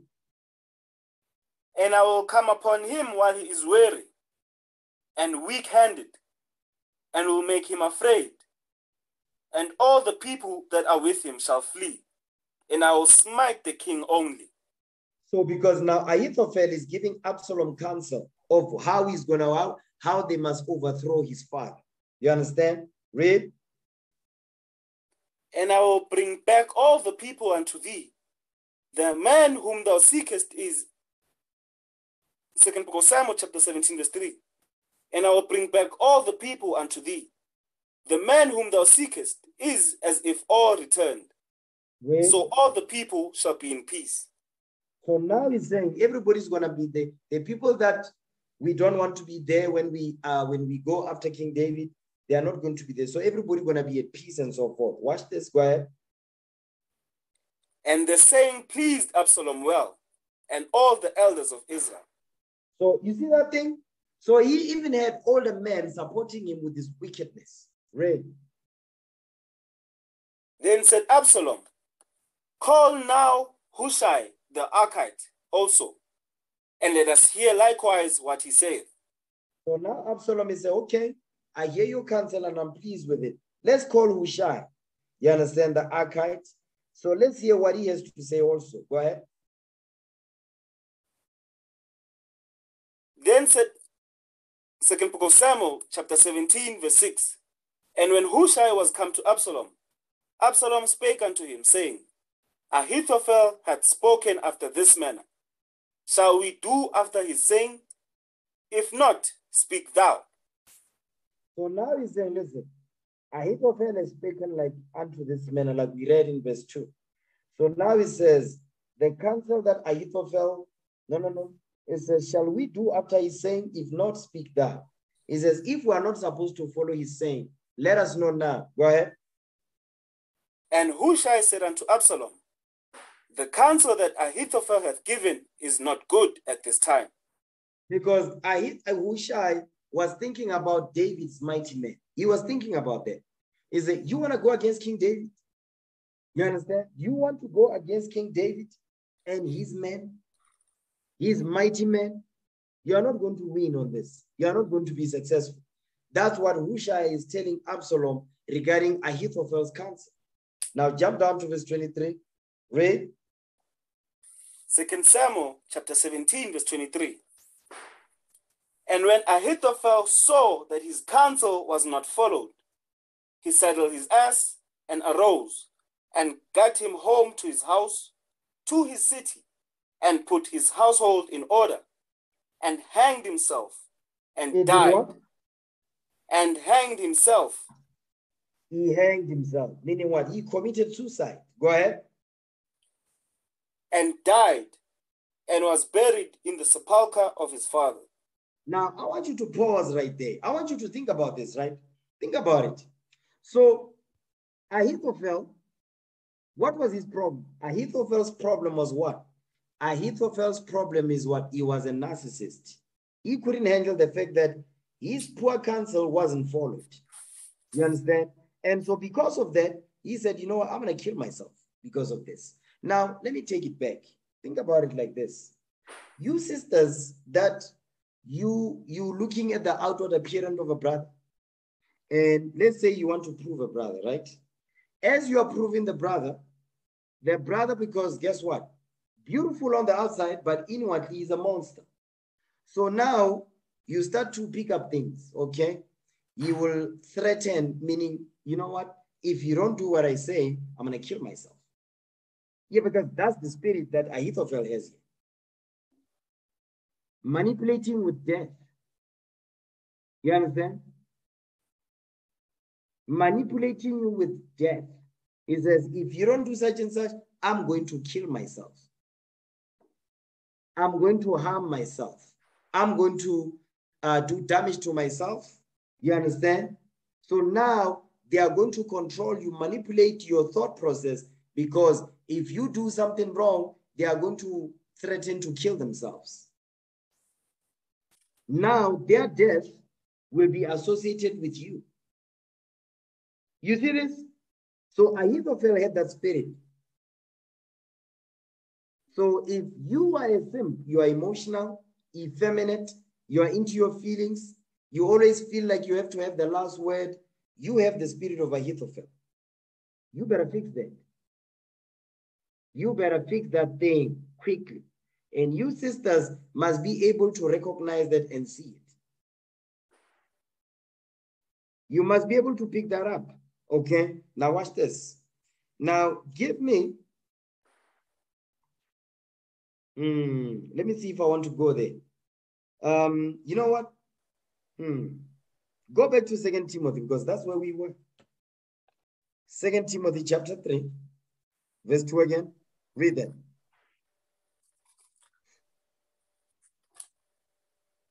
Come on. Second book of Timothy, chapter 3, verse 2. Read. For men shall be lovers of their own selves, Men shall be lovers of their own self. Absalom was one of them. Ahithophel was one of them. Go ahead. covetous, They are covetous.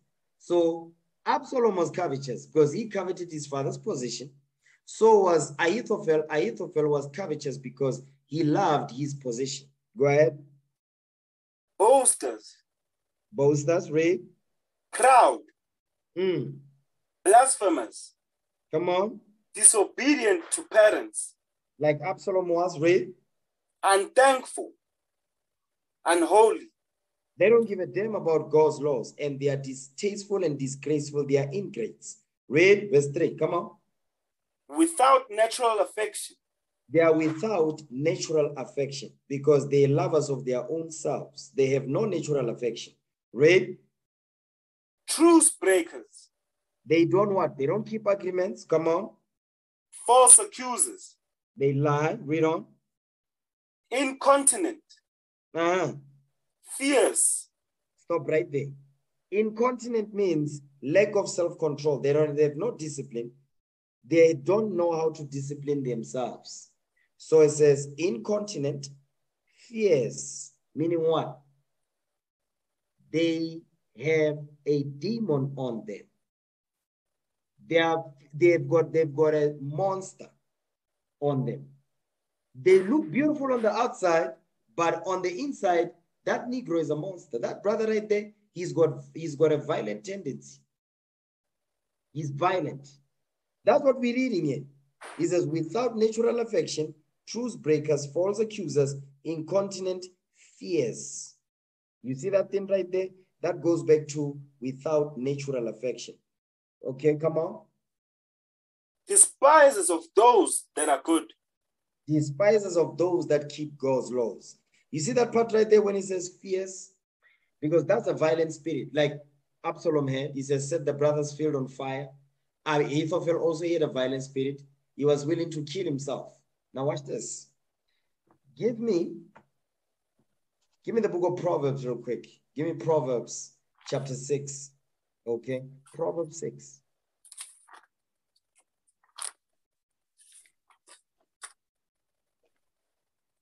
Yeah, Proverbs 6, verse 12. Read it. The book of Proverbs, chapter 6, verse 12. Go ahead. A naughty person, Mm. a wicked man, walketh with a froward mouth. You see that thing right there? Verbally abusive. It says, a naughty person, a wicked man, walketh with a froward mouth. They don't have a what? They don't have control over the tongue. Go ahead. He winketh with his eyes. He winketh with his eyes, so many what? He's deceitful, he's manipulative. Go ahead.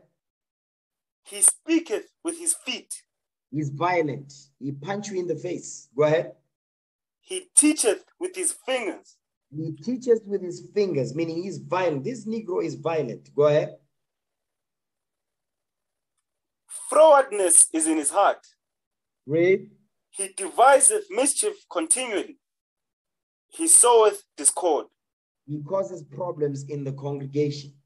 So that's what the, that this scripture right here, it goes into what we read when it says fierce, without natural affection, lovers of themselves more than lovers of the Most High. They are lovers of themselves, narcissistic behavior, like we read here. You understand? Now watch this. Okay, let's go back. Second Timothy 3. Second Timothy chapter 3. Um, read verse Second Timothy chapter 3 and verse 4. Read that.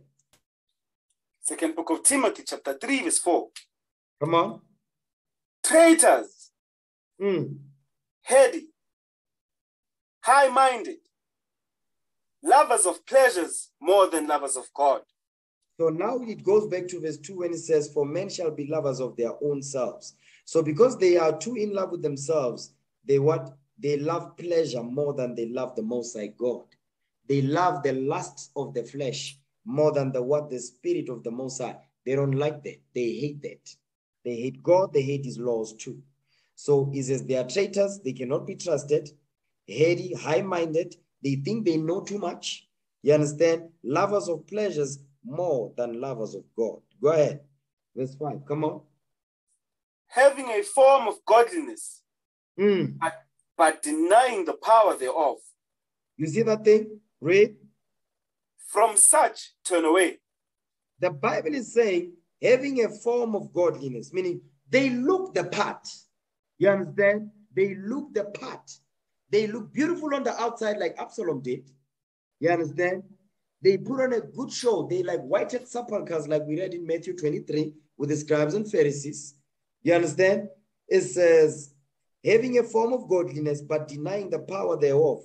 The Lord is saying, from such men, ungodly men, it says, turn away, meaning stay away from that Negro. You understand?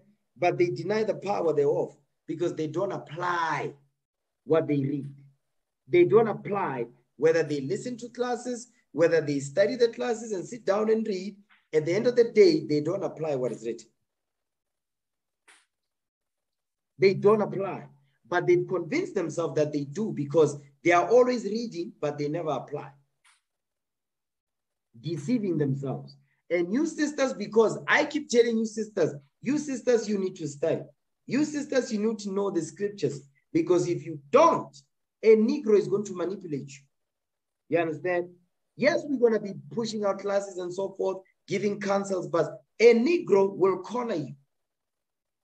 And because they know that you don't study, they will manipulate scriptures. Before you know it, you will drop your panties. I'm telling you straight. So you better pay attention. Okay, read that again. Second book of Timothy, chapter 3, verse 5. Read. Having a form of godliness, but denying the power thereof. Come on. From such turn away. He says, From such men you must turn away. Next verse. Go ahead. For of this sort are they which creep into houses Mm. and lead captive silly women laden with sins, Come on. led away with diverse lusts. Because as a sister, you've got demons, you don't want to deal with them. You understand? So these type of brothers, they know how to identify a sister that is got what? The sister that got issues. Because in the world, a whoremonger knows how to spot a sister. They know how to do it. So when we come from the we come from the world, we coming into this truth to repent to get our minds right. But if a brother does not apply himself, a brother does not examine himself, you don't seek counsel, you don't study, doesn't apply. Guess what? That old man that was supposed to be that's supposed to be put to death on a daily. That old man is feeding that old man. The old man is growing in the truth. You understand? Oxymoron. So now it says, For this sword are they which creep into houses and lead captive silly women, because you are a dumb sister, you don't study, laden with sins, because you are full of sins, lust, whatever the case may be, led away. They want to lead you away. You are led away with diverse lusts. Who's leading you?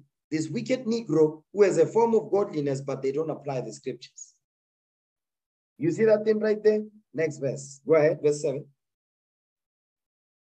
Verse 7 Mm. Ever learning and never able to come to the knowledge of the truth.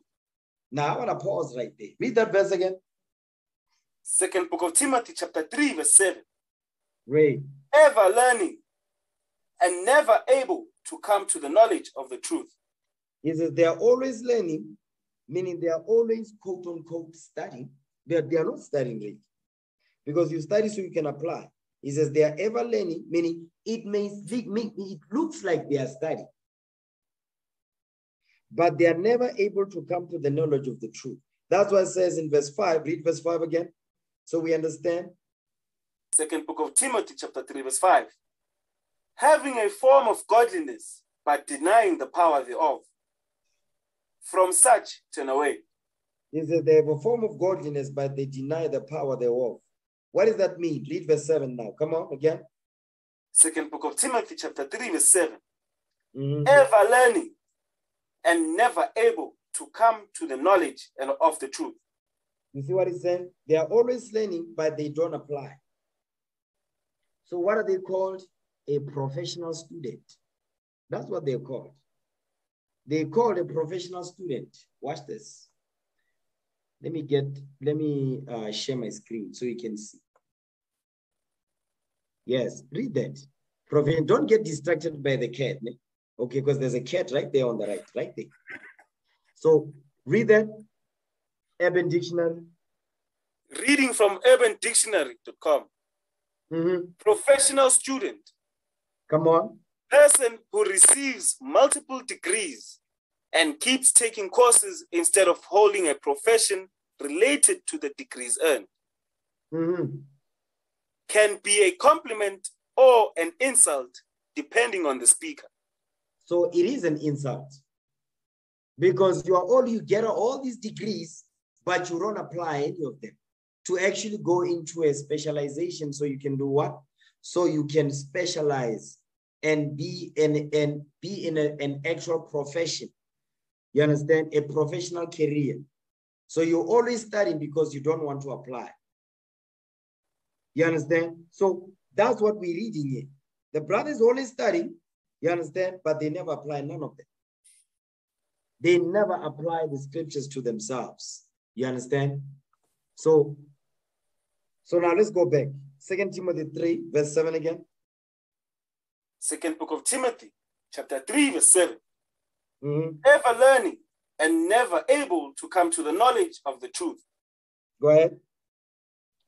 Now, as Jannes and Jambres withstood Moses, Mm. so these also resist the truth. Because what this is going back to the wilderness. You understand? He's going back to the wilderness. Korah, Dathan, and Abiram. He's going back to them. It says, So do these also resist the truth because they withstood Moses. They thought they knew better than Moses and Aaron. Go ahead. He's going to tell you what type of men these are. Read. Men of corrupt minds, Men of corrupt minds. They are corrupt.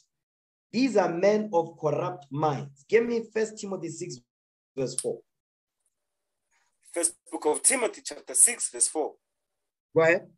He is proud, He is knowing what? nothing. He is proud, So knowing these type of men, the Most High God says they are proud. You understand? They are proud, meaning their minds. Give me that in Sirach chapter 10. Sirach 10, verse 12. He says, He is proud.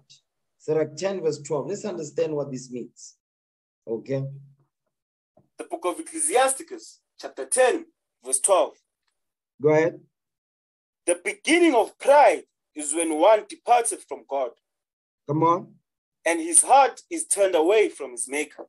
That's what he's talking about. He says, when you are prideful, you depart, your mind is departed from the Most High because your mind is no longer governed by God's laws. It's governed by your emotions, your lust.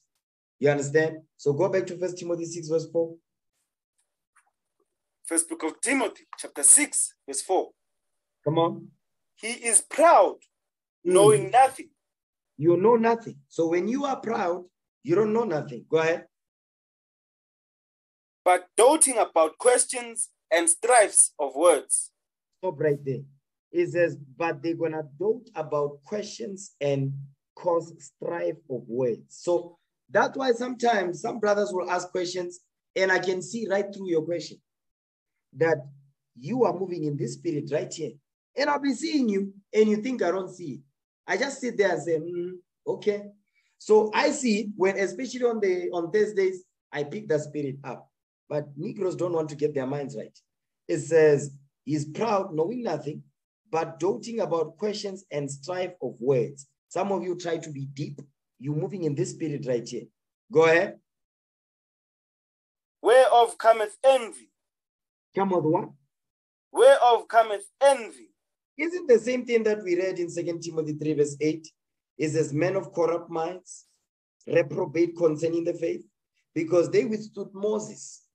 Why? Why, why, why did they withstood Moses? It was because of envy, because they thought they were on some level. You see that part right there? Envy. That's the spirit you moving. Okay, go ahead. strife, Strive, because you are full of what? The devil is on you. Go ahead. railings, Uh-huh. evil surmisings, evil surmisings. You understand? Read. perverse disputings of men of corrupt minds, You see that thing? It a perverse disputing of men of corrupt minds. You are given an answer. You don't take the answer and say, you know what? Let me, let me, let me put, let me marinate my mind on the answer I, I receive. No, no. You want to get more and more, but you don't do nothing with the answers you receive during the Q and A's. You don't apply them. So that's the spirit you're moving in. Perverse disputing of men of corrupt minds, because you want to make it seem like when now you know more. So you ask these follow-up questions, but you don't change your life. You're still that wicked Negro. You see that thing? Keep reading. and destitute of the truth, Mm.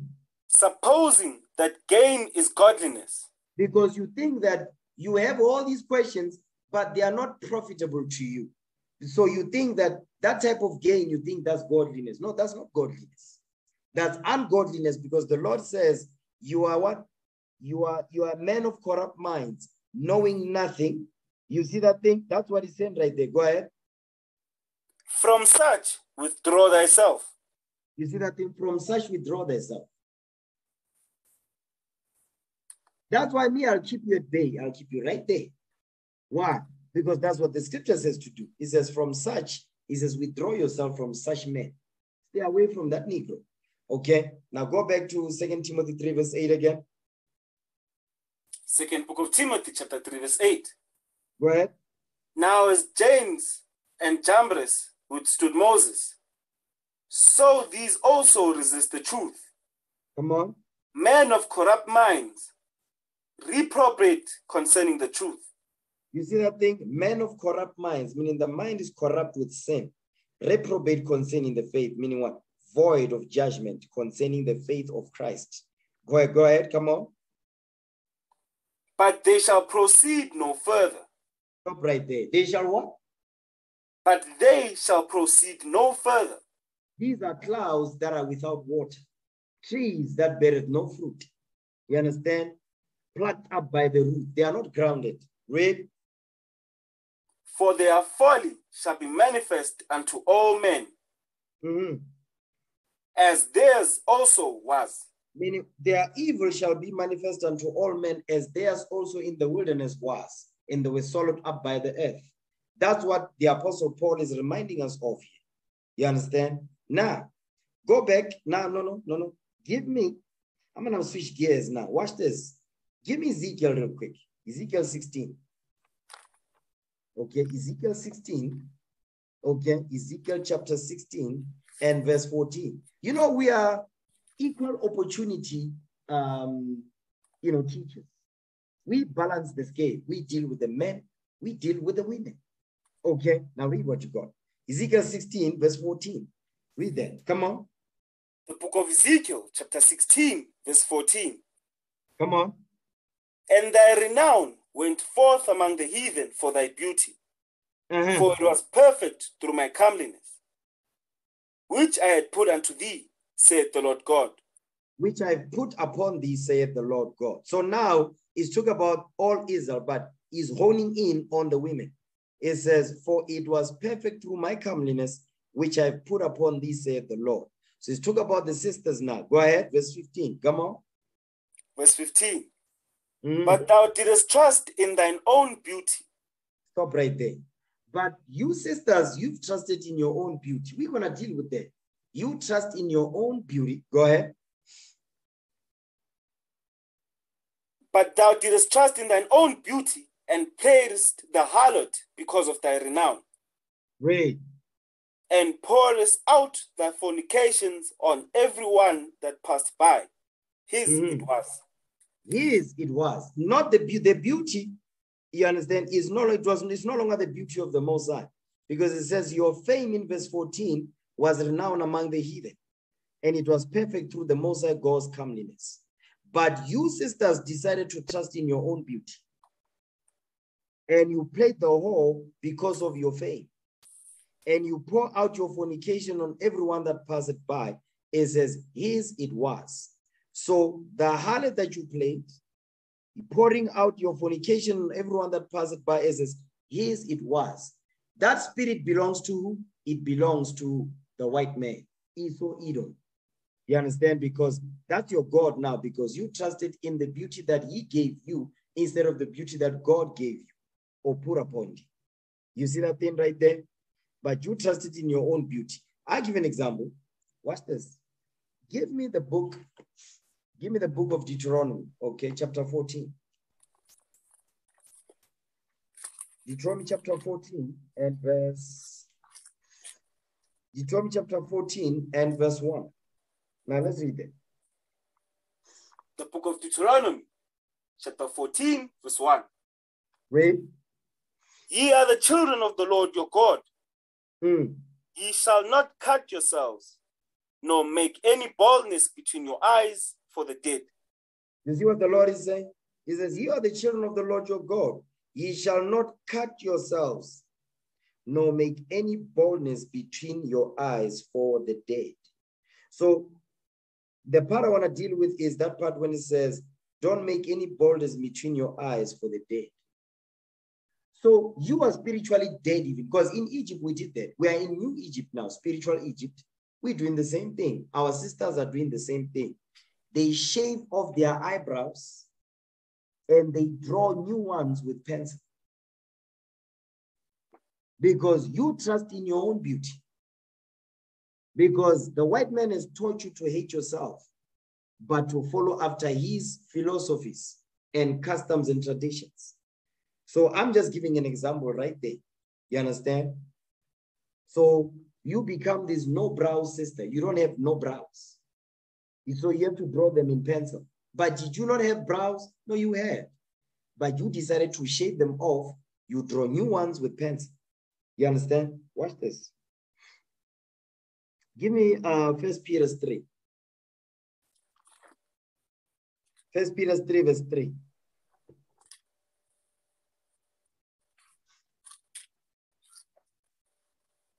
First book of Peter, chapter 3, verse 3. Whose adorning let it not be that outward adorning of plaiting the hair Go ahead. and of wearing of gold or of putting on of apparel. You see what the Lord is saying? He says, Your adorning must not be that outward adorning of the plaiting of the hair, of the wearing of gold, or putting on of apparel. So the Apostle Peter is not saying you must not do that. No, he's not saying that. He says that must not be your focus because now the sisters, their focus now is how they look on the outside. Vain glory. You understand? Get that in Proverbs 31. Because they forget the way your beauty is going to fade over time. You understand? All that is going to be left is what? The wisdom that you have now. Watch this. Proverbs 31, verse 30.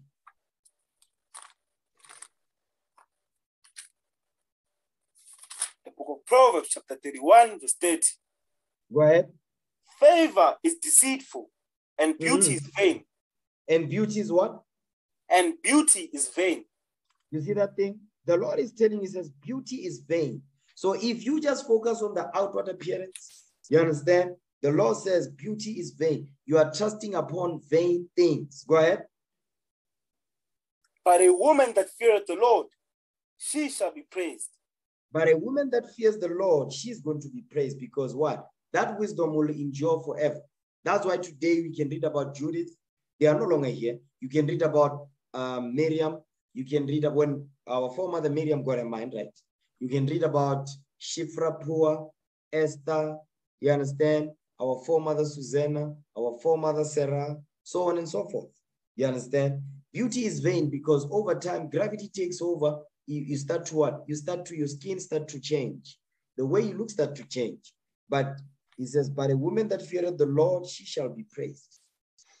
Understand that thing. Beauty, that wisdom is going to make your face to shine. You see that thing? Now,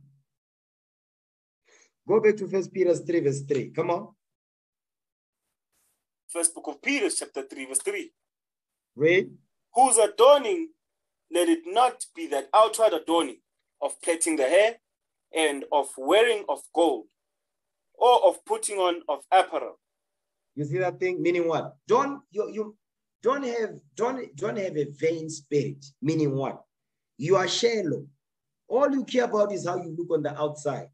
And you see our sisters today, even in the truth, sisters, they wear long, beautiful dresses. They they put on head wraps and so forth. They put jewels on their foreheads and so forth. But inwardly, you are full of unholy demons. You understand? You spiritually, you are a monster. Nobody can stand you. Your personality is, is whack. You understand? It's like it's like you need drugs or something. You're, there's just something wrong with your personality. You're you're crooked. You understand? Why? Because your focus is wrong. Your priorities is wrong. You're not putting your focus on the right things. You see that thing? Okay, watch this. Give me First Timothy 2, verse 9. Because the Apostle Paul said the same thing that the Apostle Peter is teaching us here. First Timothy 2, verse 9. Watch this. First book of Timothy, chapter 2, verse 9. Go ahead. In like manner also, that women adorn themselves in modest apparel, Read. with shamefacedness and sobriety, Mhm. not with broided hair or gold or pearls or costly array. Meaning those things must not be what must not be what defines you. That's what the Lord is saying. Because sisters, they spend 99.9% of the time focusing on what they see on the mirror, wanting to make themselves look good in on on the outside. But inwardly, she's a spiritual demon. She's a monster. You understand? She's a vampire. She'll suck the life out of you. Okay? She's a spiritual vampire on the inside. You understand? But read on verse 10. This is what this is what's going to beautify you over and above what you're looking on the outside. This is how you must be on the inside. Go ahead. This was going to beautify you what this one was gonna beautify what looks what's what we see on the outside. Read. Verse 10 But which becometh woman professing godliness with good works. You see what God is saying? He says, but you must profess godliness with good works. This is what's going to beautify you. Go ahead. Let the woman learn in silence with all subjection. That's what's going to beautify you. Because when do we listen to women, brothers? When they are silent. That's when we listen. The only time when we listen to the sisters is when they are silent. You understand? Go ahead, read again, verse 11. First book of Timothy, chapter 2, verse 11. Go ahead. Let the woman learn in silence with all subjection. With all subjection, meaning with all submission. You must learn in silence with all submission. That's what that's that's a beautiful thing right there. That's a beautiful thing. Get that in Sirach 26.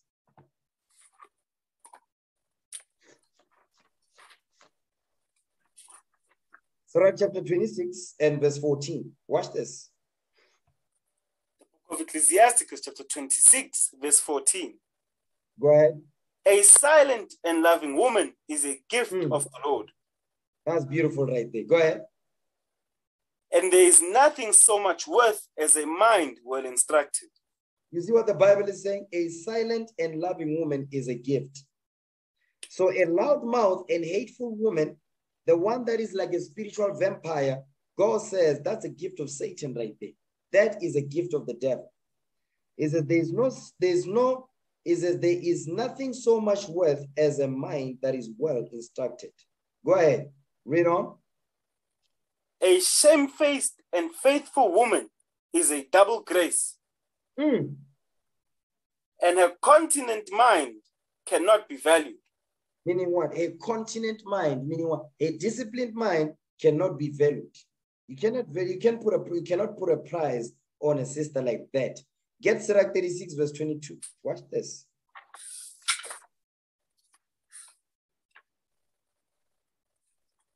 The book of Ecclesiasticus, chapter 36, verse 22. Go ahead. The beauty of a woman cheereth the countenance, Mm. and a man loveth nothing better. You see, that's true right there. A woman is a trophy. Let me say that again in case I started. No, I didn't. I, I know what I'm saying. I'm not confused about what I'm saying. A woman is a trophy. Read again, verse 22. The book of Ecclesiasticus, chapter 36, verse 22. Go ahead. The beauty of a woman cheereth the countenance, Mm. and a man loveth nothing better. You see that? Men love them. Men love women. It says what? Men love beautiful women. It's not a mystery. You know, it's written right there in the scriptures. Is that the beauty of a woman, it shareth the countenance of a man. It shares a man's face. You understand? It says, and a man loveth nothing better. Now, you might be thinking, yeah, I need to puff myself. I need to look bad. I need to look. No, no, there's nothing wrong with that. As long as you're not a spiritual vampire on the inside, we're good with that. Watch the next verse, though. Go ahead. If there be kindness, If, if, if, if they be kindness. So, what's going to support verse 22 is verse 23. If there is kindness, go ahead. meekness, Meekness, that's submission. Go ahead. and comfort, and comfort, meaning what? We're gonna you you're gonna comfort your Lord. You're gonna comfort that man. You understand? Your your your your Lord can be going through things, but he knows that you know when I get home, he- he- that my home is like a little heaven.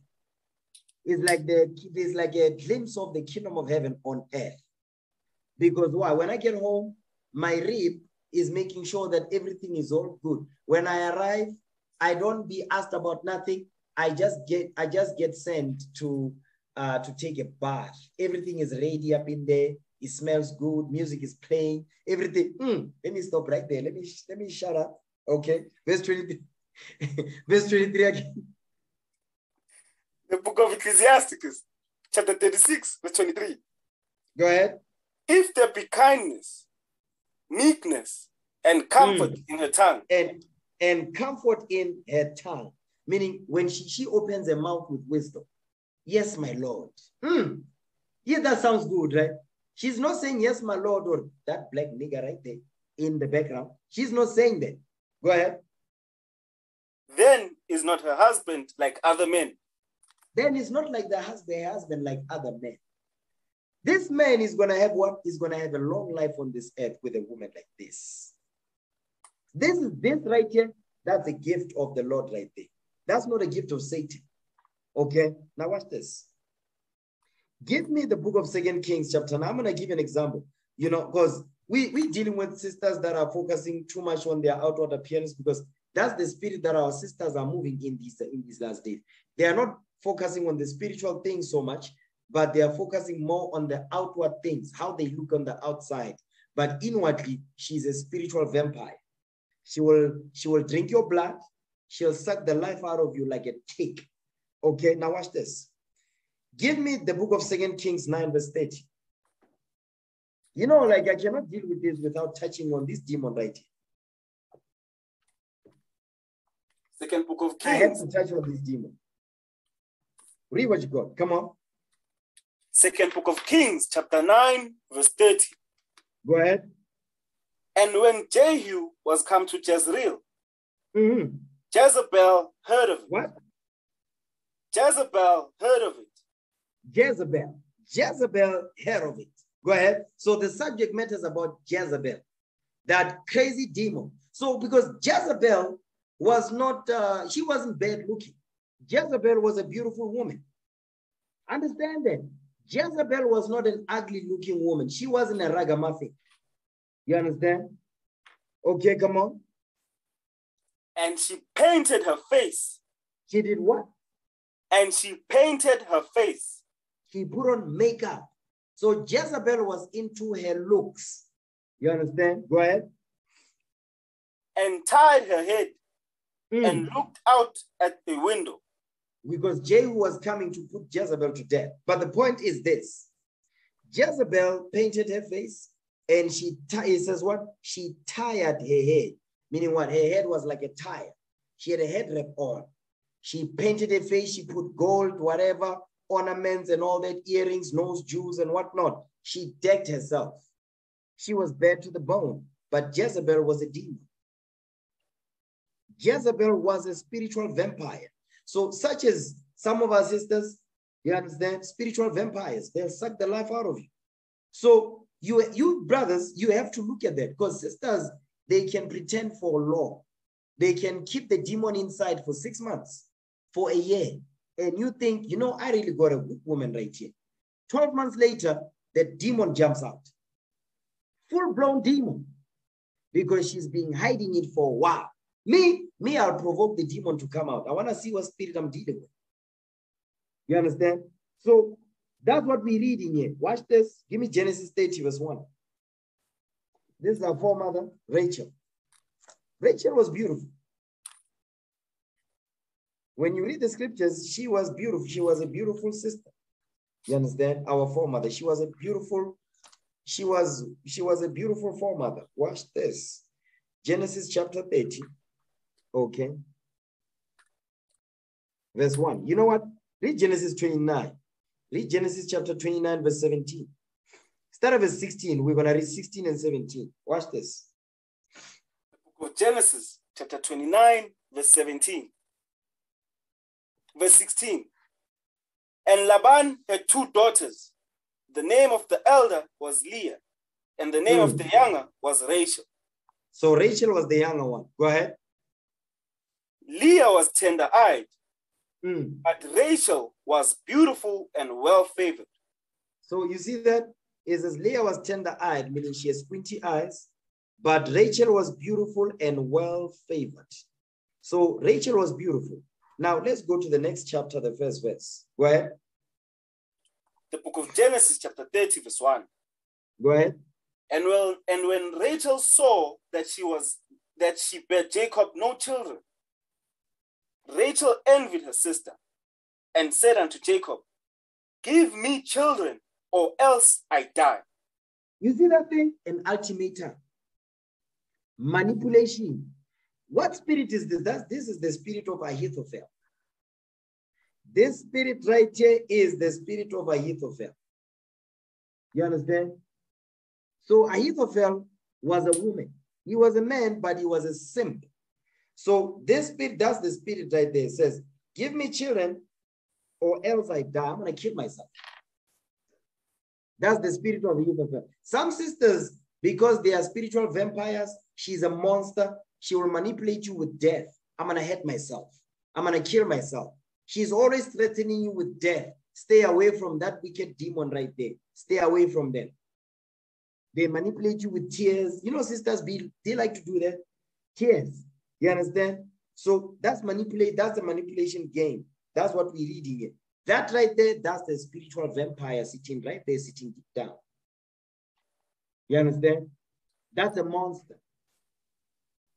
Unless the sisters get their mind right, their, their minds right, and repent and let go of that old woman, guess what?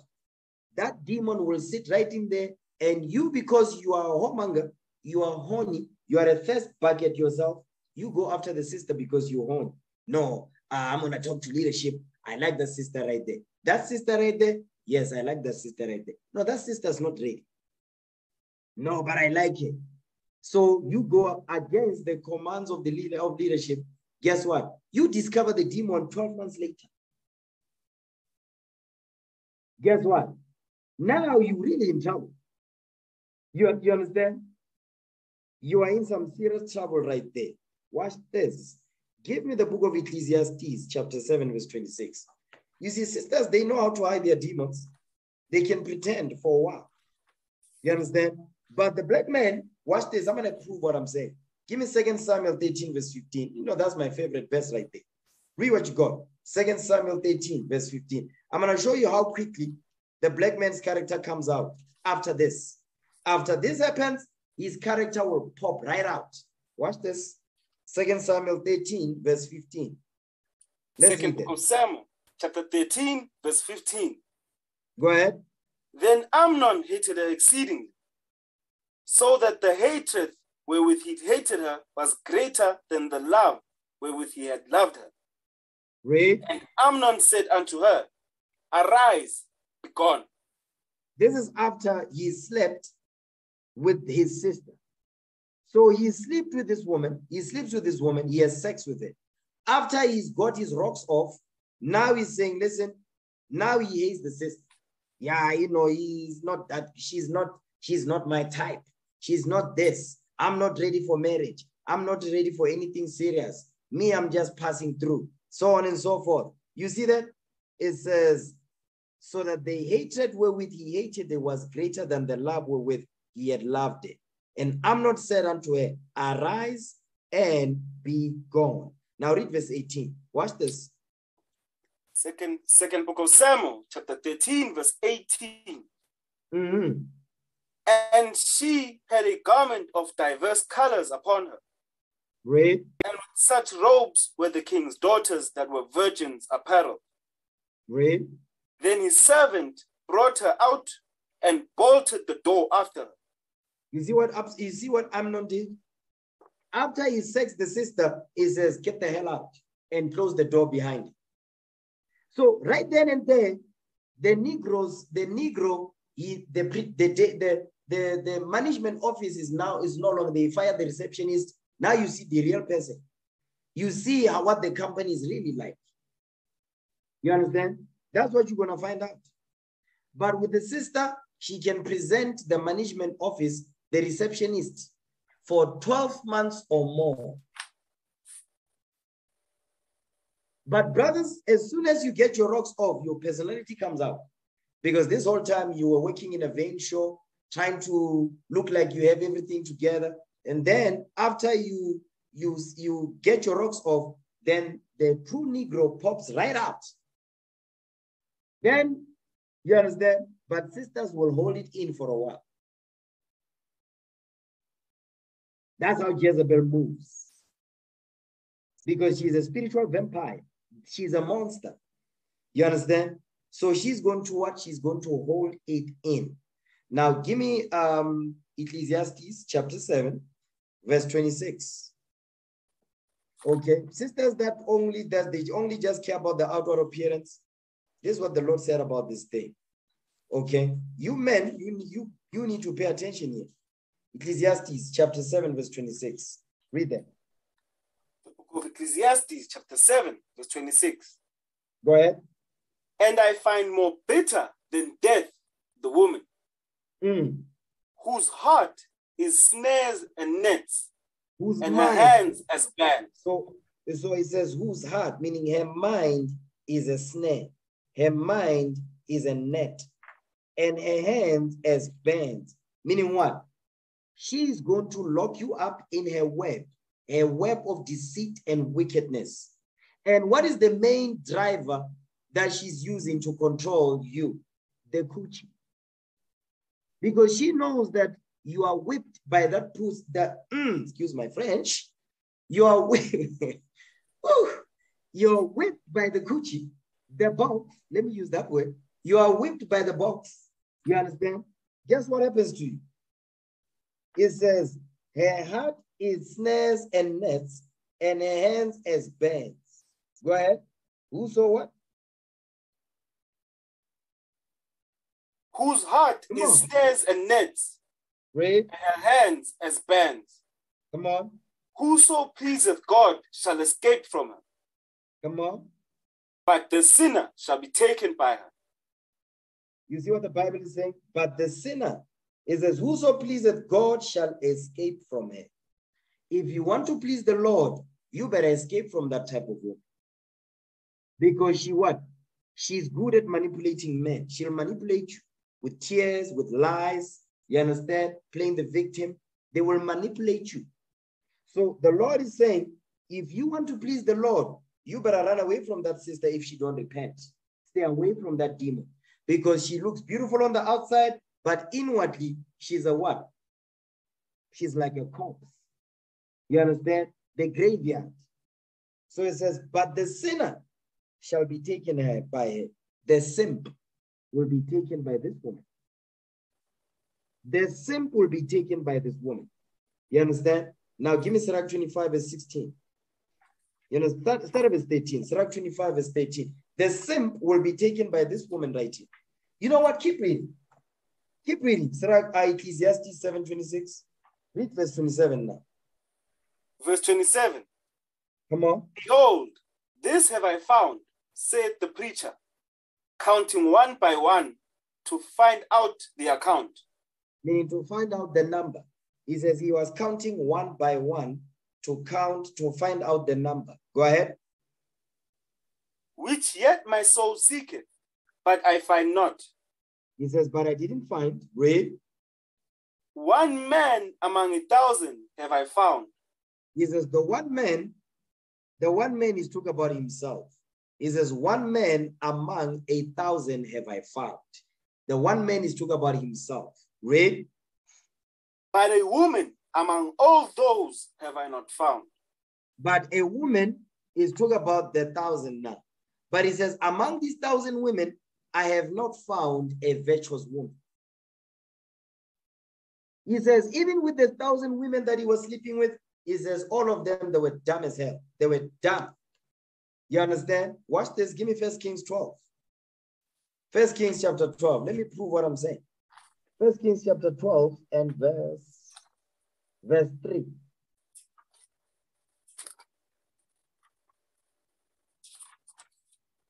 First, first book of Kings, chapter 12, verse 3. Read. That they sent and called it. No, no, no. No, I'm sorry. Chapter 11, verse 3. First Kings 11, verse 3. First book of Kings, chapter 11, verse 3. Go ahead. And he had 700 wives, princesses, and 300 concubines. And his wives turned away his heart. You see what he's saying? He says Solomon had 700 wives, princesses, and 300 concubines. So he had a thousand women. He says, out of all these thousand women, he says, I have not found a virtuous woman. That's why Proverbs 31 is written. You understand? Because his mother now is teaching him how to find a virtuous woman, how to identify a virtuous woman.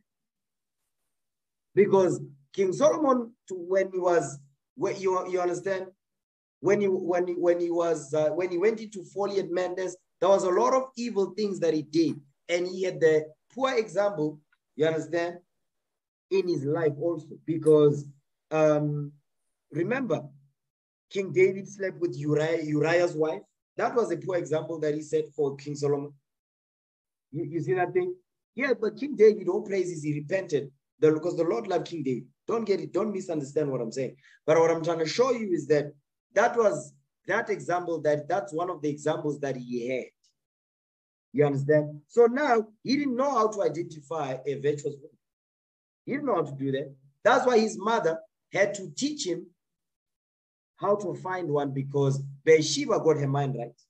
That's why she was able to teach King Solomon, his son, about what type of what a what a virtuous woman looks like. Okay, get that in um, Proverbs 31. Because this is Bathsheba speaking. Bathsheba was able to get her mind right. You understand? Proverbs 31, verse 1. Read that. The book of Proverbs, chapter 31, verse 1. Read. The words of King Lemuel, the prophecy that his mother taught him.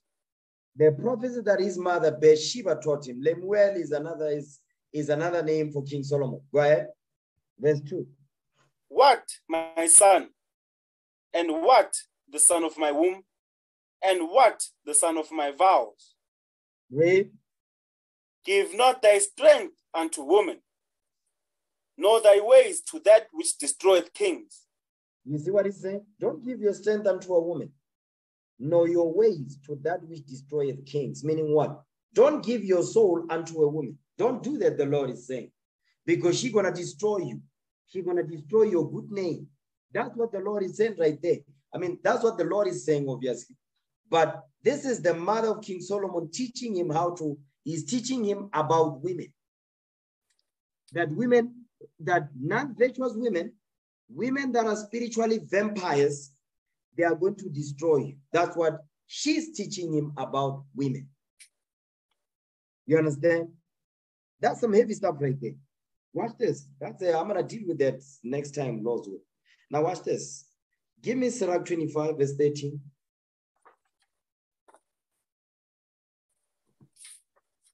The book of Ecclesiasticus, chapter 25, verse 13. Hold on. You know what? Wait. You see, you see now, you sisters, you need to think about this. You see, when it says, um, you know what, get get get Sirach. Get Sirach 26. You understand? Sirach 26. Sirach chapter 26 and verse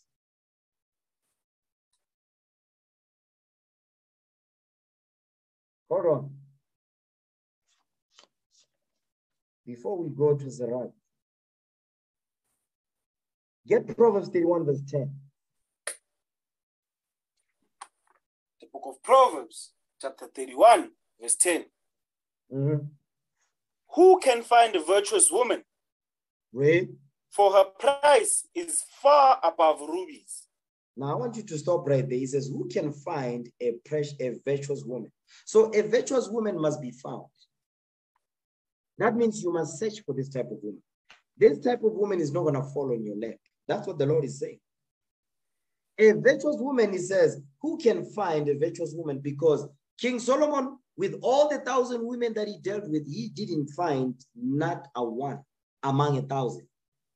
He said, one among a thousand is that among these women, I have not found a virtuous woman among these thousand women that I was dealing with.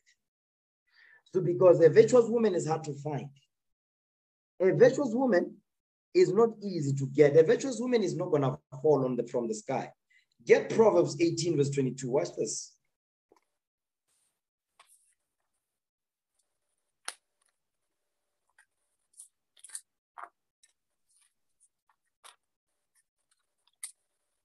Book of Proverbs, chapter 18, verse 22. Go ahead.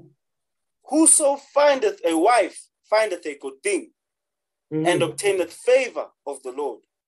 So what is the Lord teaching us? The Lord is teaching us that listen, whoso findeth a wife findeth a good thing. Because a good wife, she has you must search for this type of woman.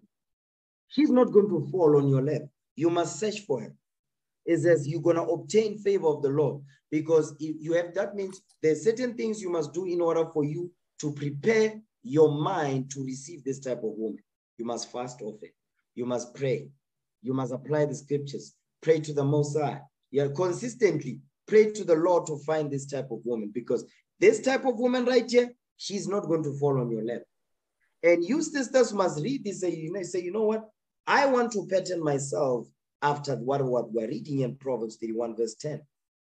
That virtuous woman who, have, whose her prize is, as, is far above rubies. Meaning this type of woman is hard to find. She's priceless. You understand? That's what the Lord is saying right there. Okay, watch this. Give me Sirach 7, verse 19. Because what we read in Proverbs 31, verse 10, you understand, precept with, with Proverbs 18, 22, but it also goes with this right here. Sirach 7, verse 19. Because it says, Who can find a virtuous woman? For her price is far above rubies. Read that. Proverbs. I mean, Sirach 7, verse 19. Come on. Of Ecclesiasticus chapter 7, verse 19. Go ahead. Forego not a wise and good woman, for her grace is above gold. You see that? He says, Don't let go of a wise and good woman.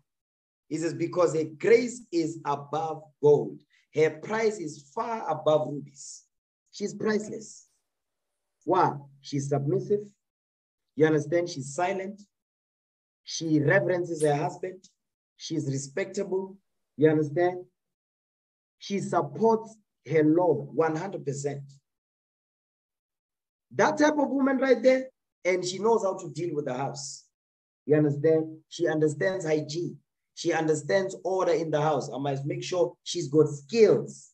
That type of sister, listen, that type of sister is not gonna fall on, she's not gonna fall on your lap. Understand that, brothers?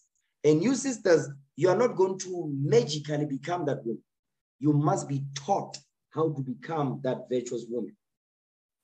You must be groomed into becoming that virtuous woman. You understand? And in order for you, if you want to get rid of that spiritual demon, that spiritual vampire, you understand? That monster that you are spiritually, guess what? You must be willing to receive the teachings and the groomings of how to become a virtuous and loving wife. You must be able to follow those instructions. You understand? Guide the house, take care of yourself, study, apply the scriptures, follow counsel, get skills, so on and so forth. Those things, yeah, those things is that those are the characteristics of a virtuous woman. You understand? Okay. Now watch this. Now give me Sirach. Okay, give me Sirach uh, chapter 25 now. Verse 13. Let's read that. The book of Ecclesiasticus, chapter 25, verse 13. Because if you, you know what, give me Sirach 25, verse 21, then we're going to jump back up. I'm going to show you a lot of the time, sisters, they present the outward appearance and everything is just fake, fake, fake, fake. But they hide behind the long dresses and the bottle blue, the fringes, the beautiful head wraps and so forth. But because when I, this is what you were looking at, you were you were chasing, you were chasing after that woman, you were looking for this. Read that, Sirach 25, 21. The book of Ecclesiastes, chapter 25, verse 21. Read. Stumble not at the beauty of a woman, and Mm. desire her not for pleasure. You see what the Bible is saying? It says, don't, don't fall for the beauty of a woman. Because we read in Proverbs 31, verse 30, it says, beauty is vain. So if you fall for the beauty of a woman, you are simple minded. You will see the big booty, the curves, the pretty face. You see that thing? The big chest. That's all you care about. The Lord says, you desiring that woman for pleasure. Guess what? That's not the woman for you. That, that's not the woman for you. That's not the woman you should marry or should even attempt to talk to the sister because she's not marriage material. You understand? She's not fit. She does not fit to be a wife yet. She must what? She must repent and be taught how to become one. That's what the Lord is teaching us right there. Now jump up to verse 13. Come on. The book of Ecclesiasticus, chapter 25, You know verse 13. Hold on. Before we get there, you see that part right there says, stumble not at the beauty of a woman and desire her not for pleasure? Get Sirach 9. Because in Sirach, it goes into that. Get that in Sirach 9, verse 8. Because a lot of the times is that, hmm, you know what? Jump up to verse 5. We're going to read verse 5. Then we're going to jump to verse 8. Read that. The book of Ecclesiasticus, chapter 9, verse 5. Mhm. Gaze not on a maid, that thou Mm. fall not by those things that are precious that are precious in her. You see that thing? You gaze, meaning you stay, you lust. You lust on a young woman, on a sister. And then you end up falling for those things that are precious in her. The curves, the big booty, the, the big chest, the pretty face. You understand? The you know, she's got beautiful head wraps, the earrings, the nose, the nose jewels, all of that. You mesmerized by all their outward appearance. Appearance, you understand? So you just fall for the outward appearance. Now read verse 8. Watch this. The book of Ecclesiasticus, chapter 9, verse 8. Go ahead. Turn away then eye from a beautiful woman, Mm. and look not upon another and another's beauty. Read. For many have been deceived by the beauty of a woman. Come on. For herewith love is kindled as a fire. You see what the Bible is saying? It says, turn away your eye from a beautiful woman. Meaning, give me that in Job 31, verse 1. Turn away your eye from a beautiful woman. Remember, it says, gaze not on a maid because you're going to fall by those things that are precious in her. You understand? So don't gaze, don't lust because you want you eh, eh, because if you do that, you will fall. You will fall for the for you will fall because of a beauty, not because of a substance. Okay, because you don't prove, or if you do prove, you don't you take you you are you are Speedy Gonzalez who peck man way peck man. Proverbs there, I mean Job 31 verse 1. Job chapter 31, verse 1. Go ahead. I made a covenant with mine eyes. Mhm. Why then should I think upon a maid?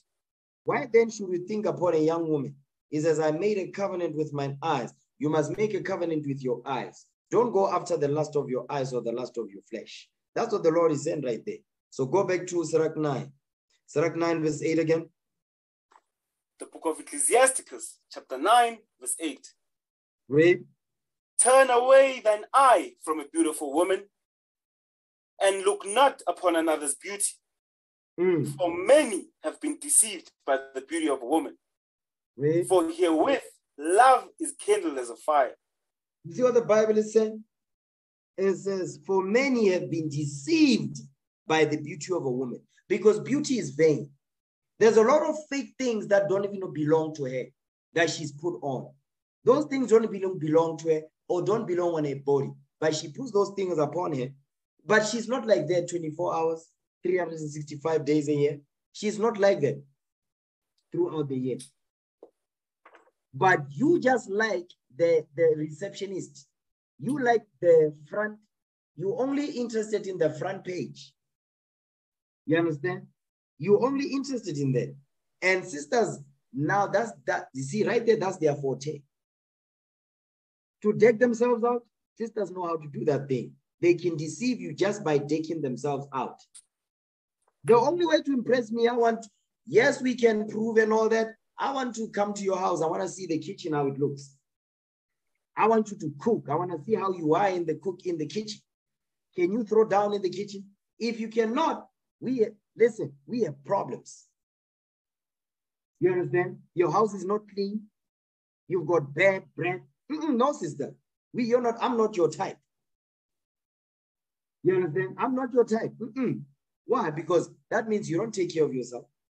You don't make an effort to take care of yourself or to take care of your household. That means when we get married, the house is going to be in a mess. There's going to be cockroaches everywhere because the sink will always have dishes in it. You see that? So you have to think, you brothers, sisters know how to deck themselves out. They know how to present the front office. You fall for that, you gone. Okay? Read on. Verse 9. Go ahead. You know what? Hmm.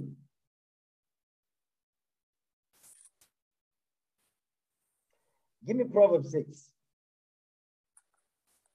Proverbs 6 24. I want that thing. Proverbs chapter 6 and verse 24.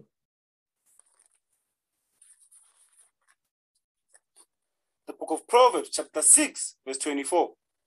Go ahead. To keep thee from the evil woman, Hmm. from the flattery of the tongue of a strange woman. Because this type of woman, she knows how to she knows how to work you out. She knows how to flatter you, how to make you feel like you're the best thing that ever happened since sliced bread. You understand? Roasted chicken. She she'll tell you all those things. Okay, go ahead. last not after her beauty in thine heart, in thine heart, Read. neither let her take thee with her eyelids. You see what the Bible is saying? It says, Don't lust after a beauty in your mind. Neither let her take thee with her eyelids. Because the sisters, they've got wanton eyes. They be looking at you from the from your feet top down. You understand? Up, down, down, up. They be eyeballing you from top down. You understand? Eating you with their eyes. Yeah, they be doing that. And you feel like, mm, I must be special. No, they are waking you. They are ready to body bag you. Okay, go ahead.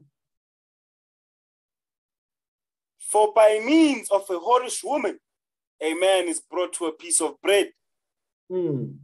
and the adulteress will hunt for the precious life. That's what she cares about. Is she on the head? That's her focus. Her focus is only there. That's what it says. It says, and the adulteress will hunt for the precious life.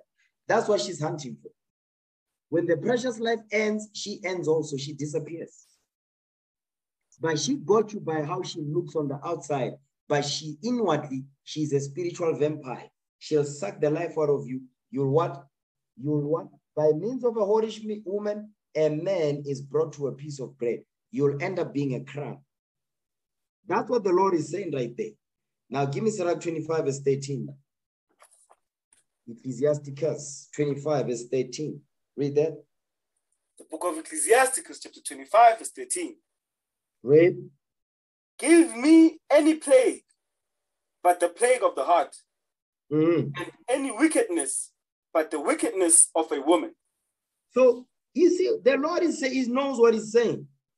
He says, Give me any plague, but the plague of the heart. Don't mean don't give him the plague of the mind. Don't plague my mind. He says, any give me any wickedness, but don't give me the wickedness of a woman. You see what the Bible is saying right there? Now that's heavy right there. Now read verse, read verse 16. The book of Ecclesiasticus, chapter 25, verse 16. Go ahead. I had rather dwell with a lion and a dragon than to Mm. keep house with a wicked woman. Because this woman, she's a spiritual vampire. She's a monster. She looks beautiful on the outside, but inwardly, she's a what? She is a vampire. She her job is she's going to suck the life out of you. You understand?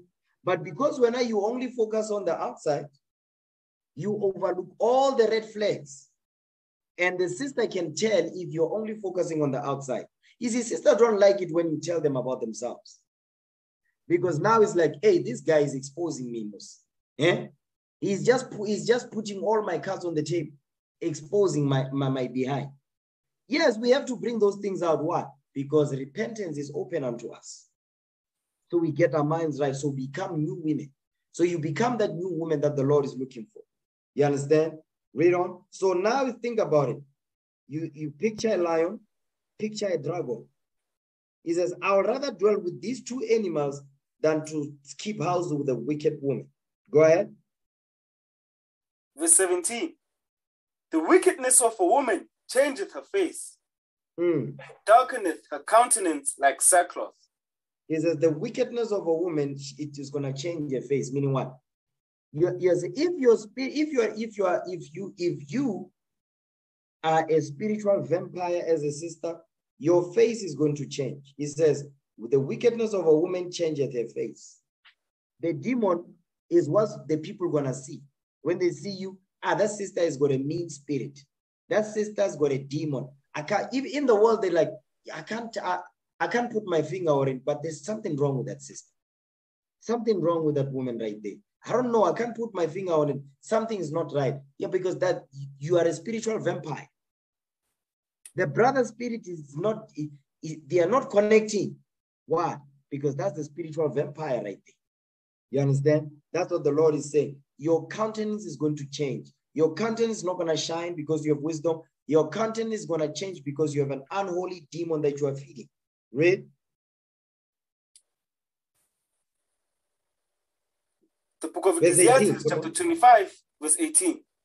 Read. A husband shall sit among his neighbors, and when he heareth it, shall sigh bitterly. You see what the Bible is saying? Is as her husband. Now, this woman, she gets married because now, guess who married this woman? A simp. Because only a simp will marry this type of sister. Her husband shall sit among his neighbors. And when he heareth it, meaning when your name comes up, he's going to sigh bitterly. You understand? Because you are worse than a lion and a dragon. That's what the Lord is saying right there. So this man's life is going to be what? You're gonna keep you're gonna shorten the lifespan of this man. You are not going to double this lifespan, you're gonna shorten it, you'll cut it in half. Why? Because you're stressing him out, because you are worse than a dragon. Okay, go ahead. All wickedness is but little to the wickedness of a woman. Mm.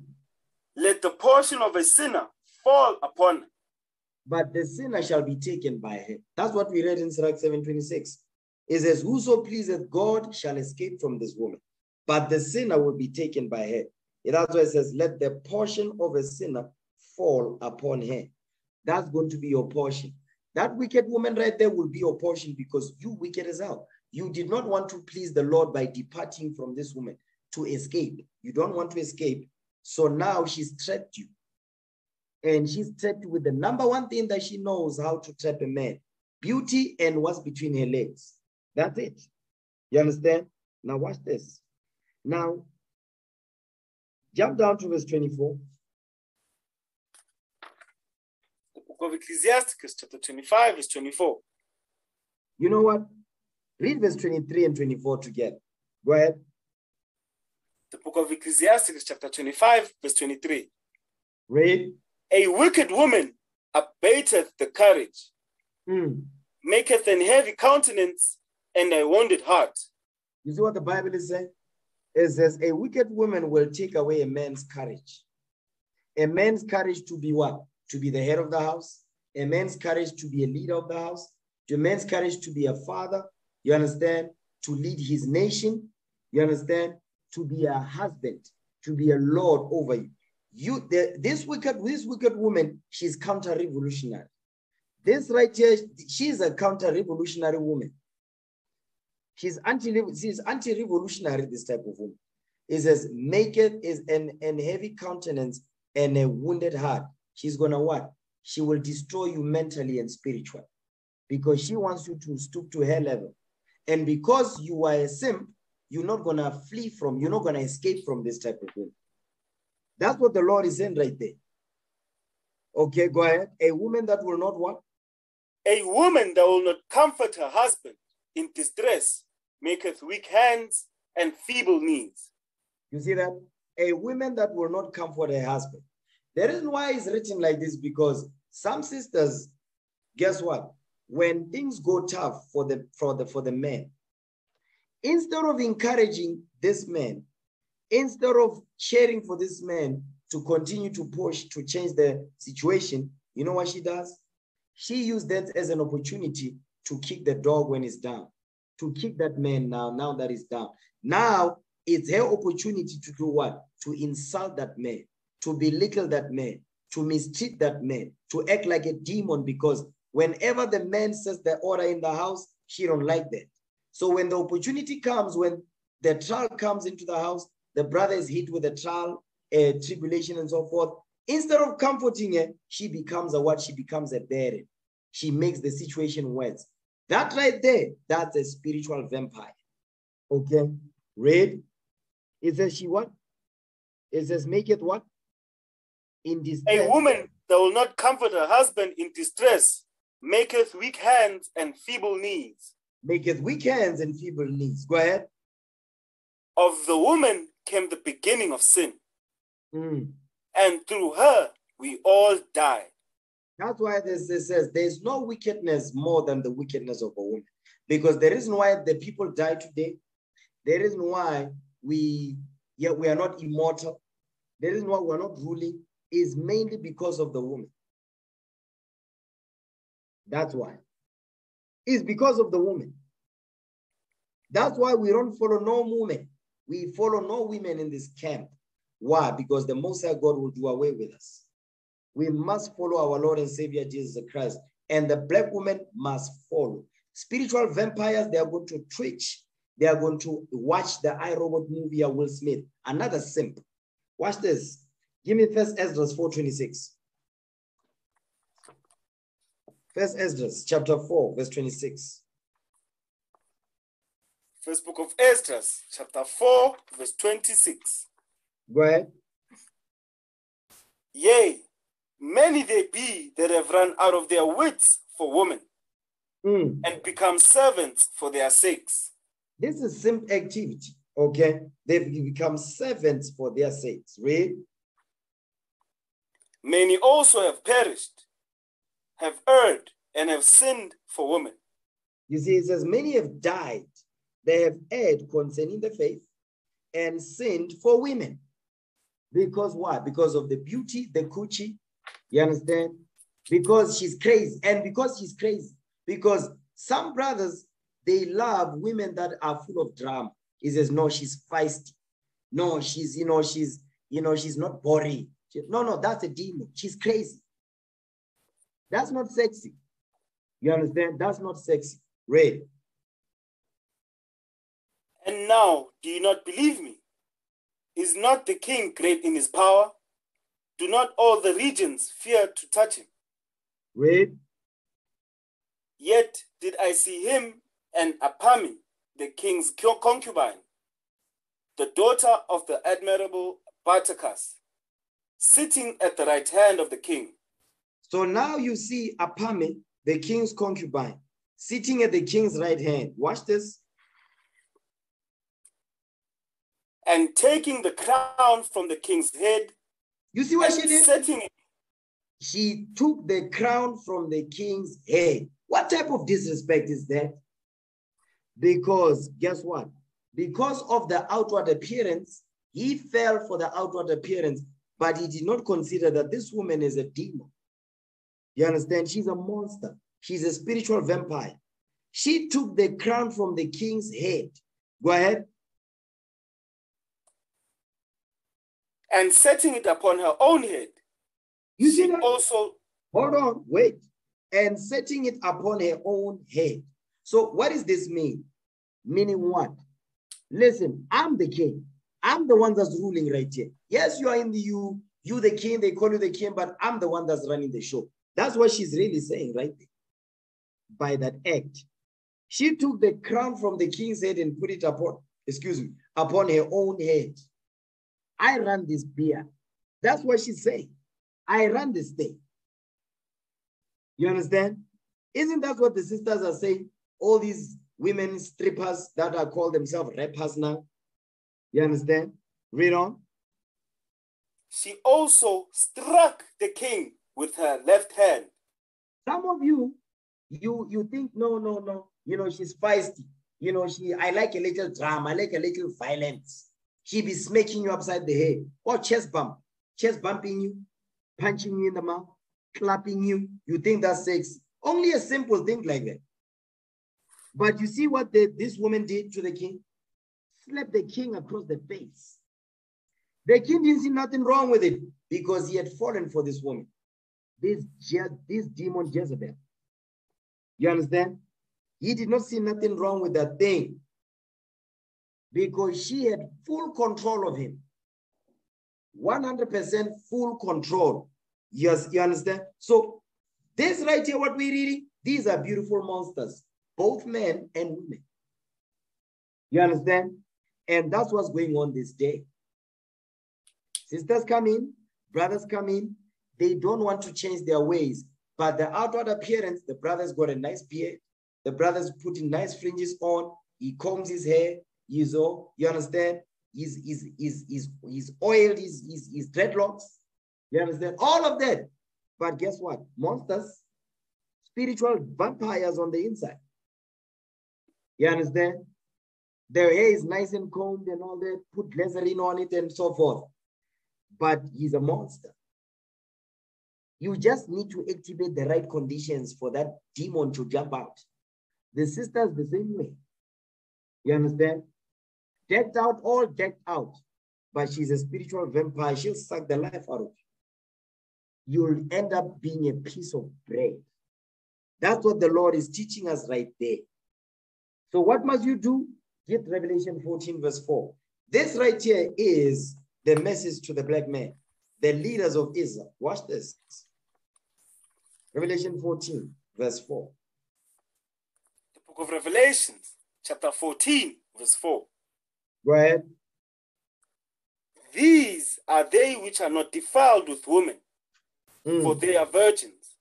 Come on.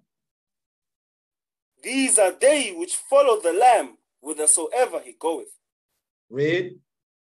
These were redeemed from among men, Mm. being the first fruits unto God and to the Lamb.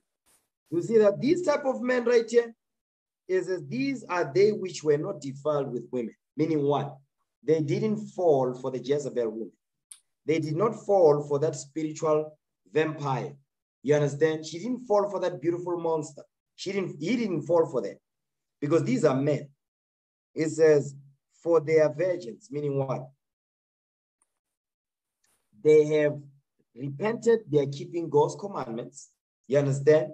Spiritually, they are virgins. It says, These are they which follow the Lamb whithersoever he goeth. Whatever this Bible says, do, these type of men, they are not going to make excuses. These were redeemed from among men, being the first fruits unto God and to the Lamb. You see that? That right there. So you brothers, you better pay attention to this thing. This is nation building time. We don't got time for shucking and jive. Understand that. I'm going to end the class right there. Okay, all praises to the Most High. Let's break bread. In the name of our Lord and Savior Jesus the Christ, okay, for laying his life down for the 12 tribes of Israel.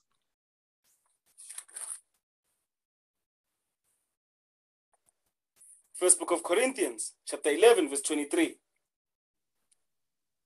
For I have received of the Lord that which also I delivered unto you, that the Lord Jesus, the same night in which he was betrayed, took bread, and when he had given thanks, he brake it and said, Take, eat, this is my body, which is broken for you. This do in remembrance of me. After the same manner also he took the cup, and when he had supped, saying, This cup is the New Testament in my blood. This do ye as oft as ye drink it, in remembrance of me. For as often as ye eat this bread and drink this cup, ye do, oh, ye do show the Lord's death till he come. Wherefore, whosoever shall eat this bread and drink this cup of the Lord unworthily shall be guilty of the body and the blood of the Lord. But let a man examine himself, and so let him eat of that bread and drink of that cup. For he that eateth and drinketh unworthily eateth and drinketh damnation to himself, not discerning the Lord's body. For this cause many are weak and sickly among you, and many sleep. In the name of our Lord and Savior Jesus Christ, we pray. Amen.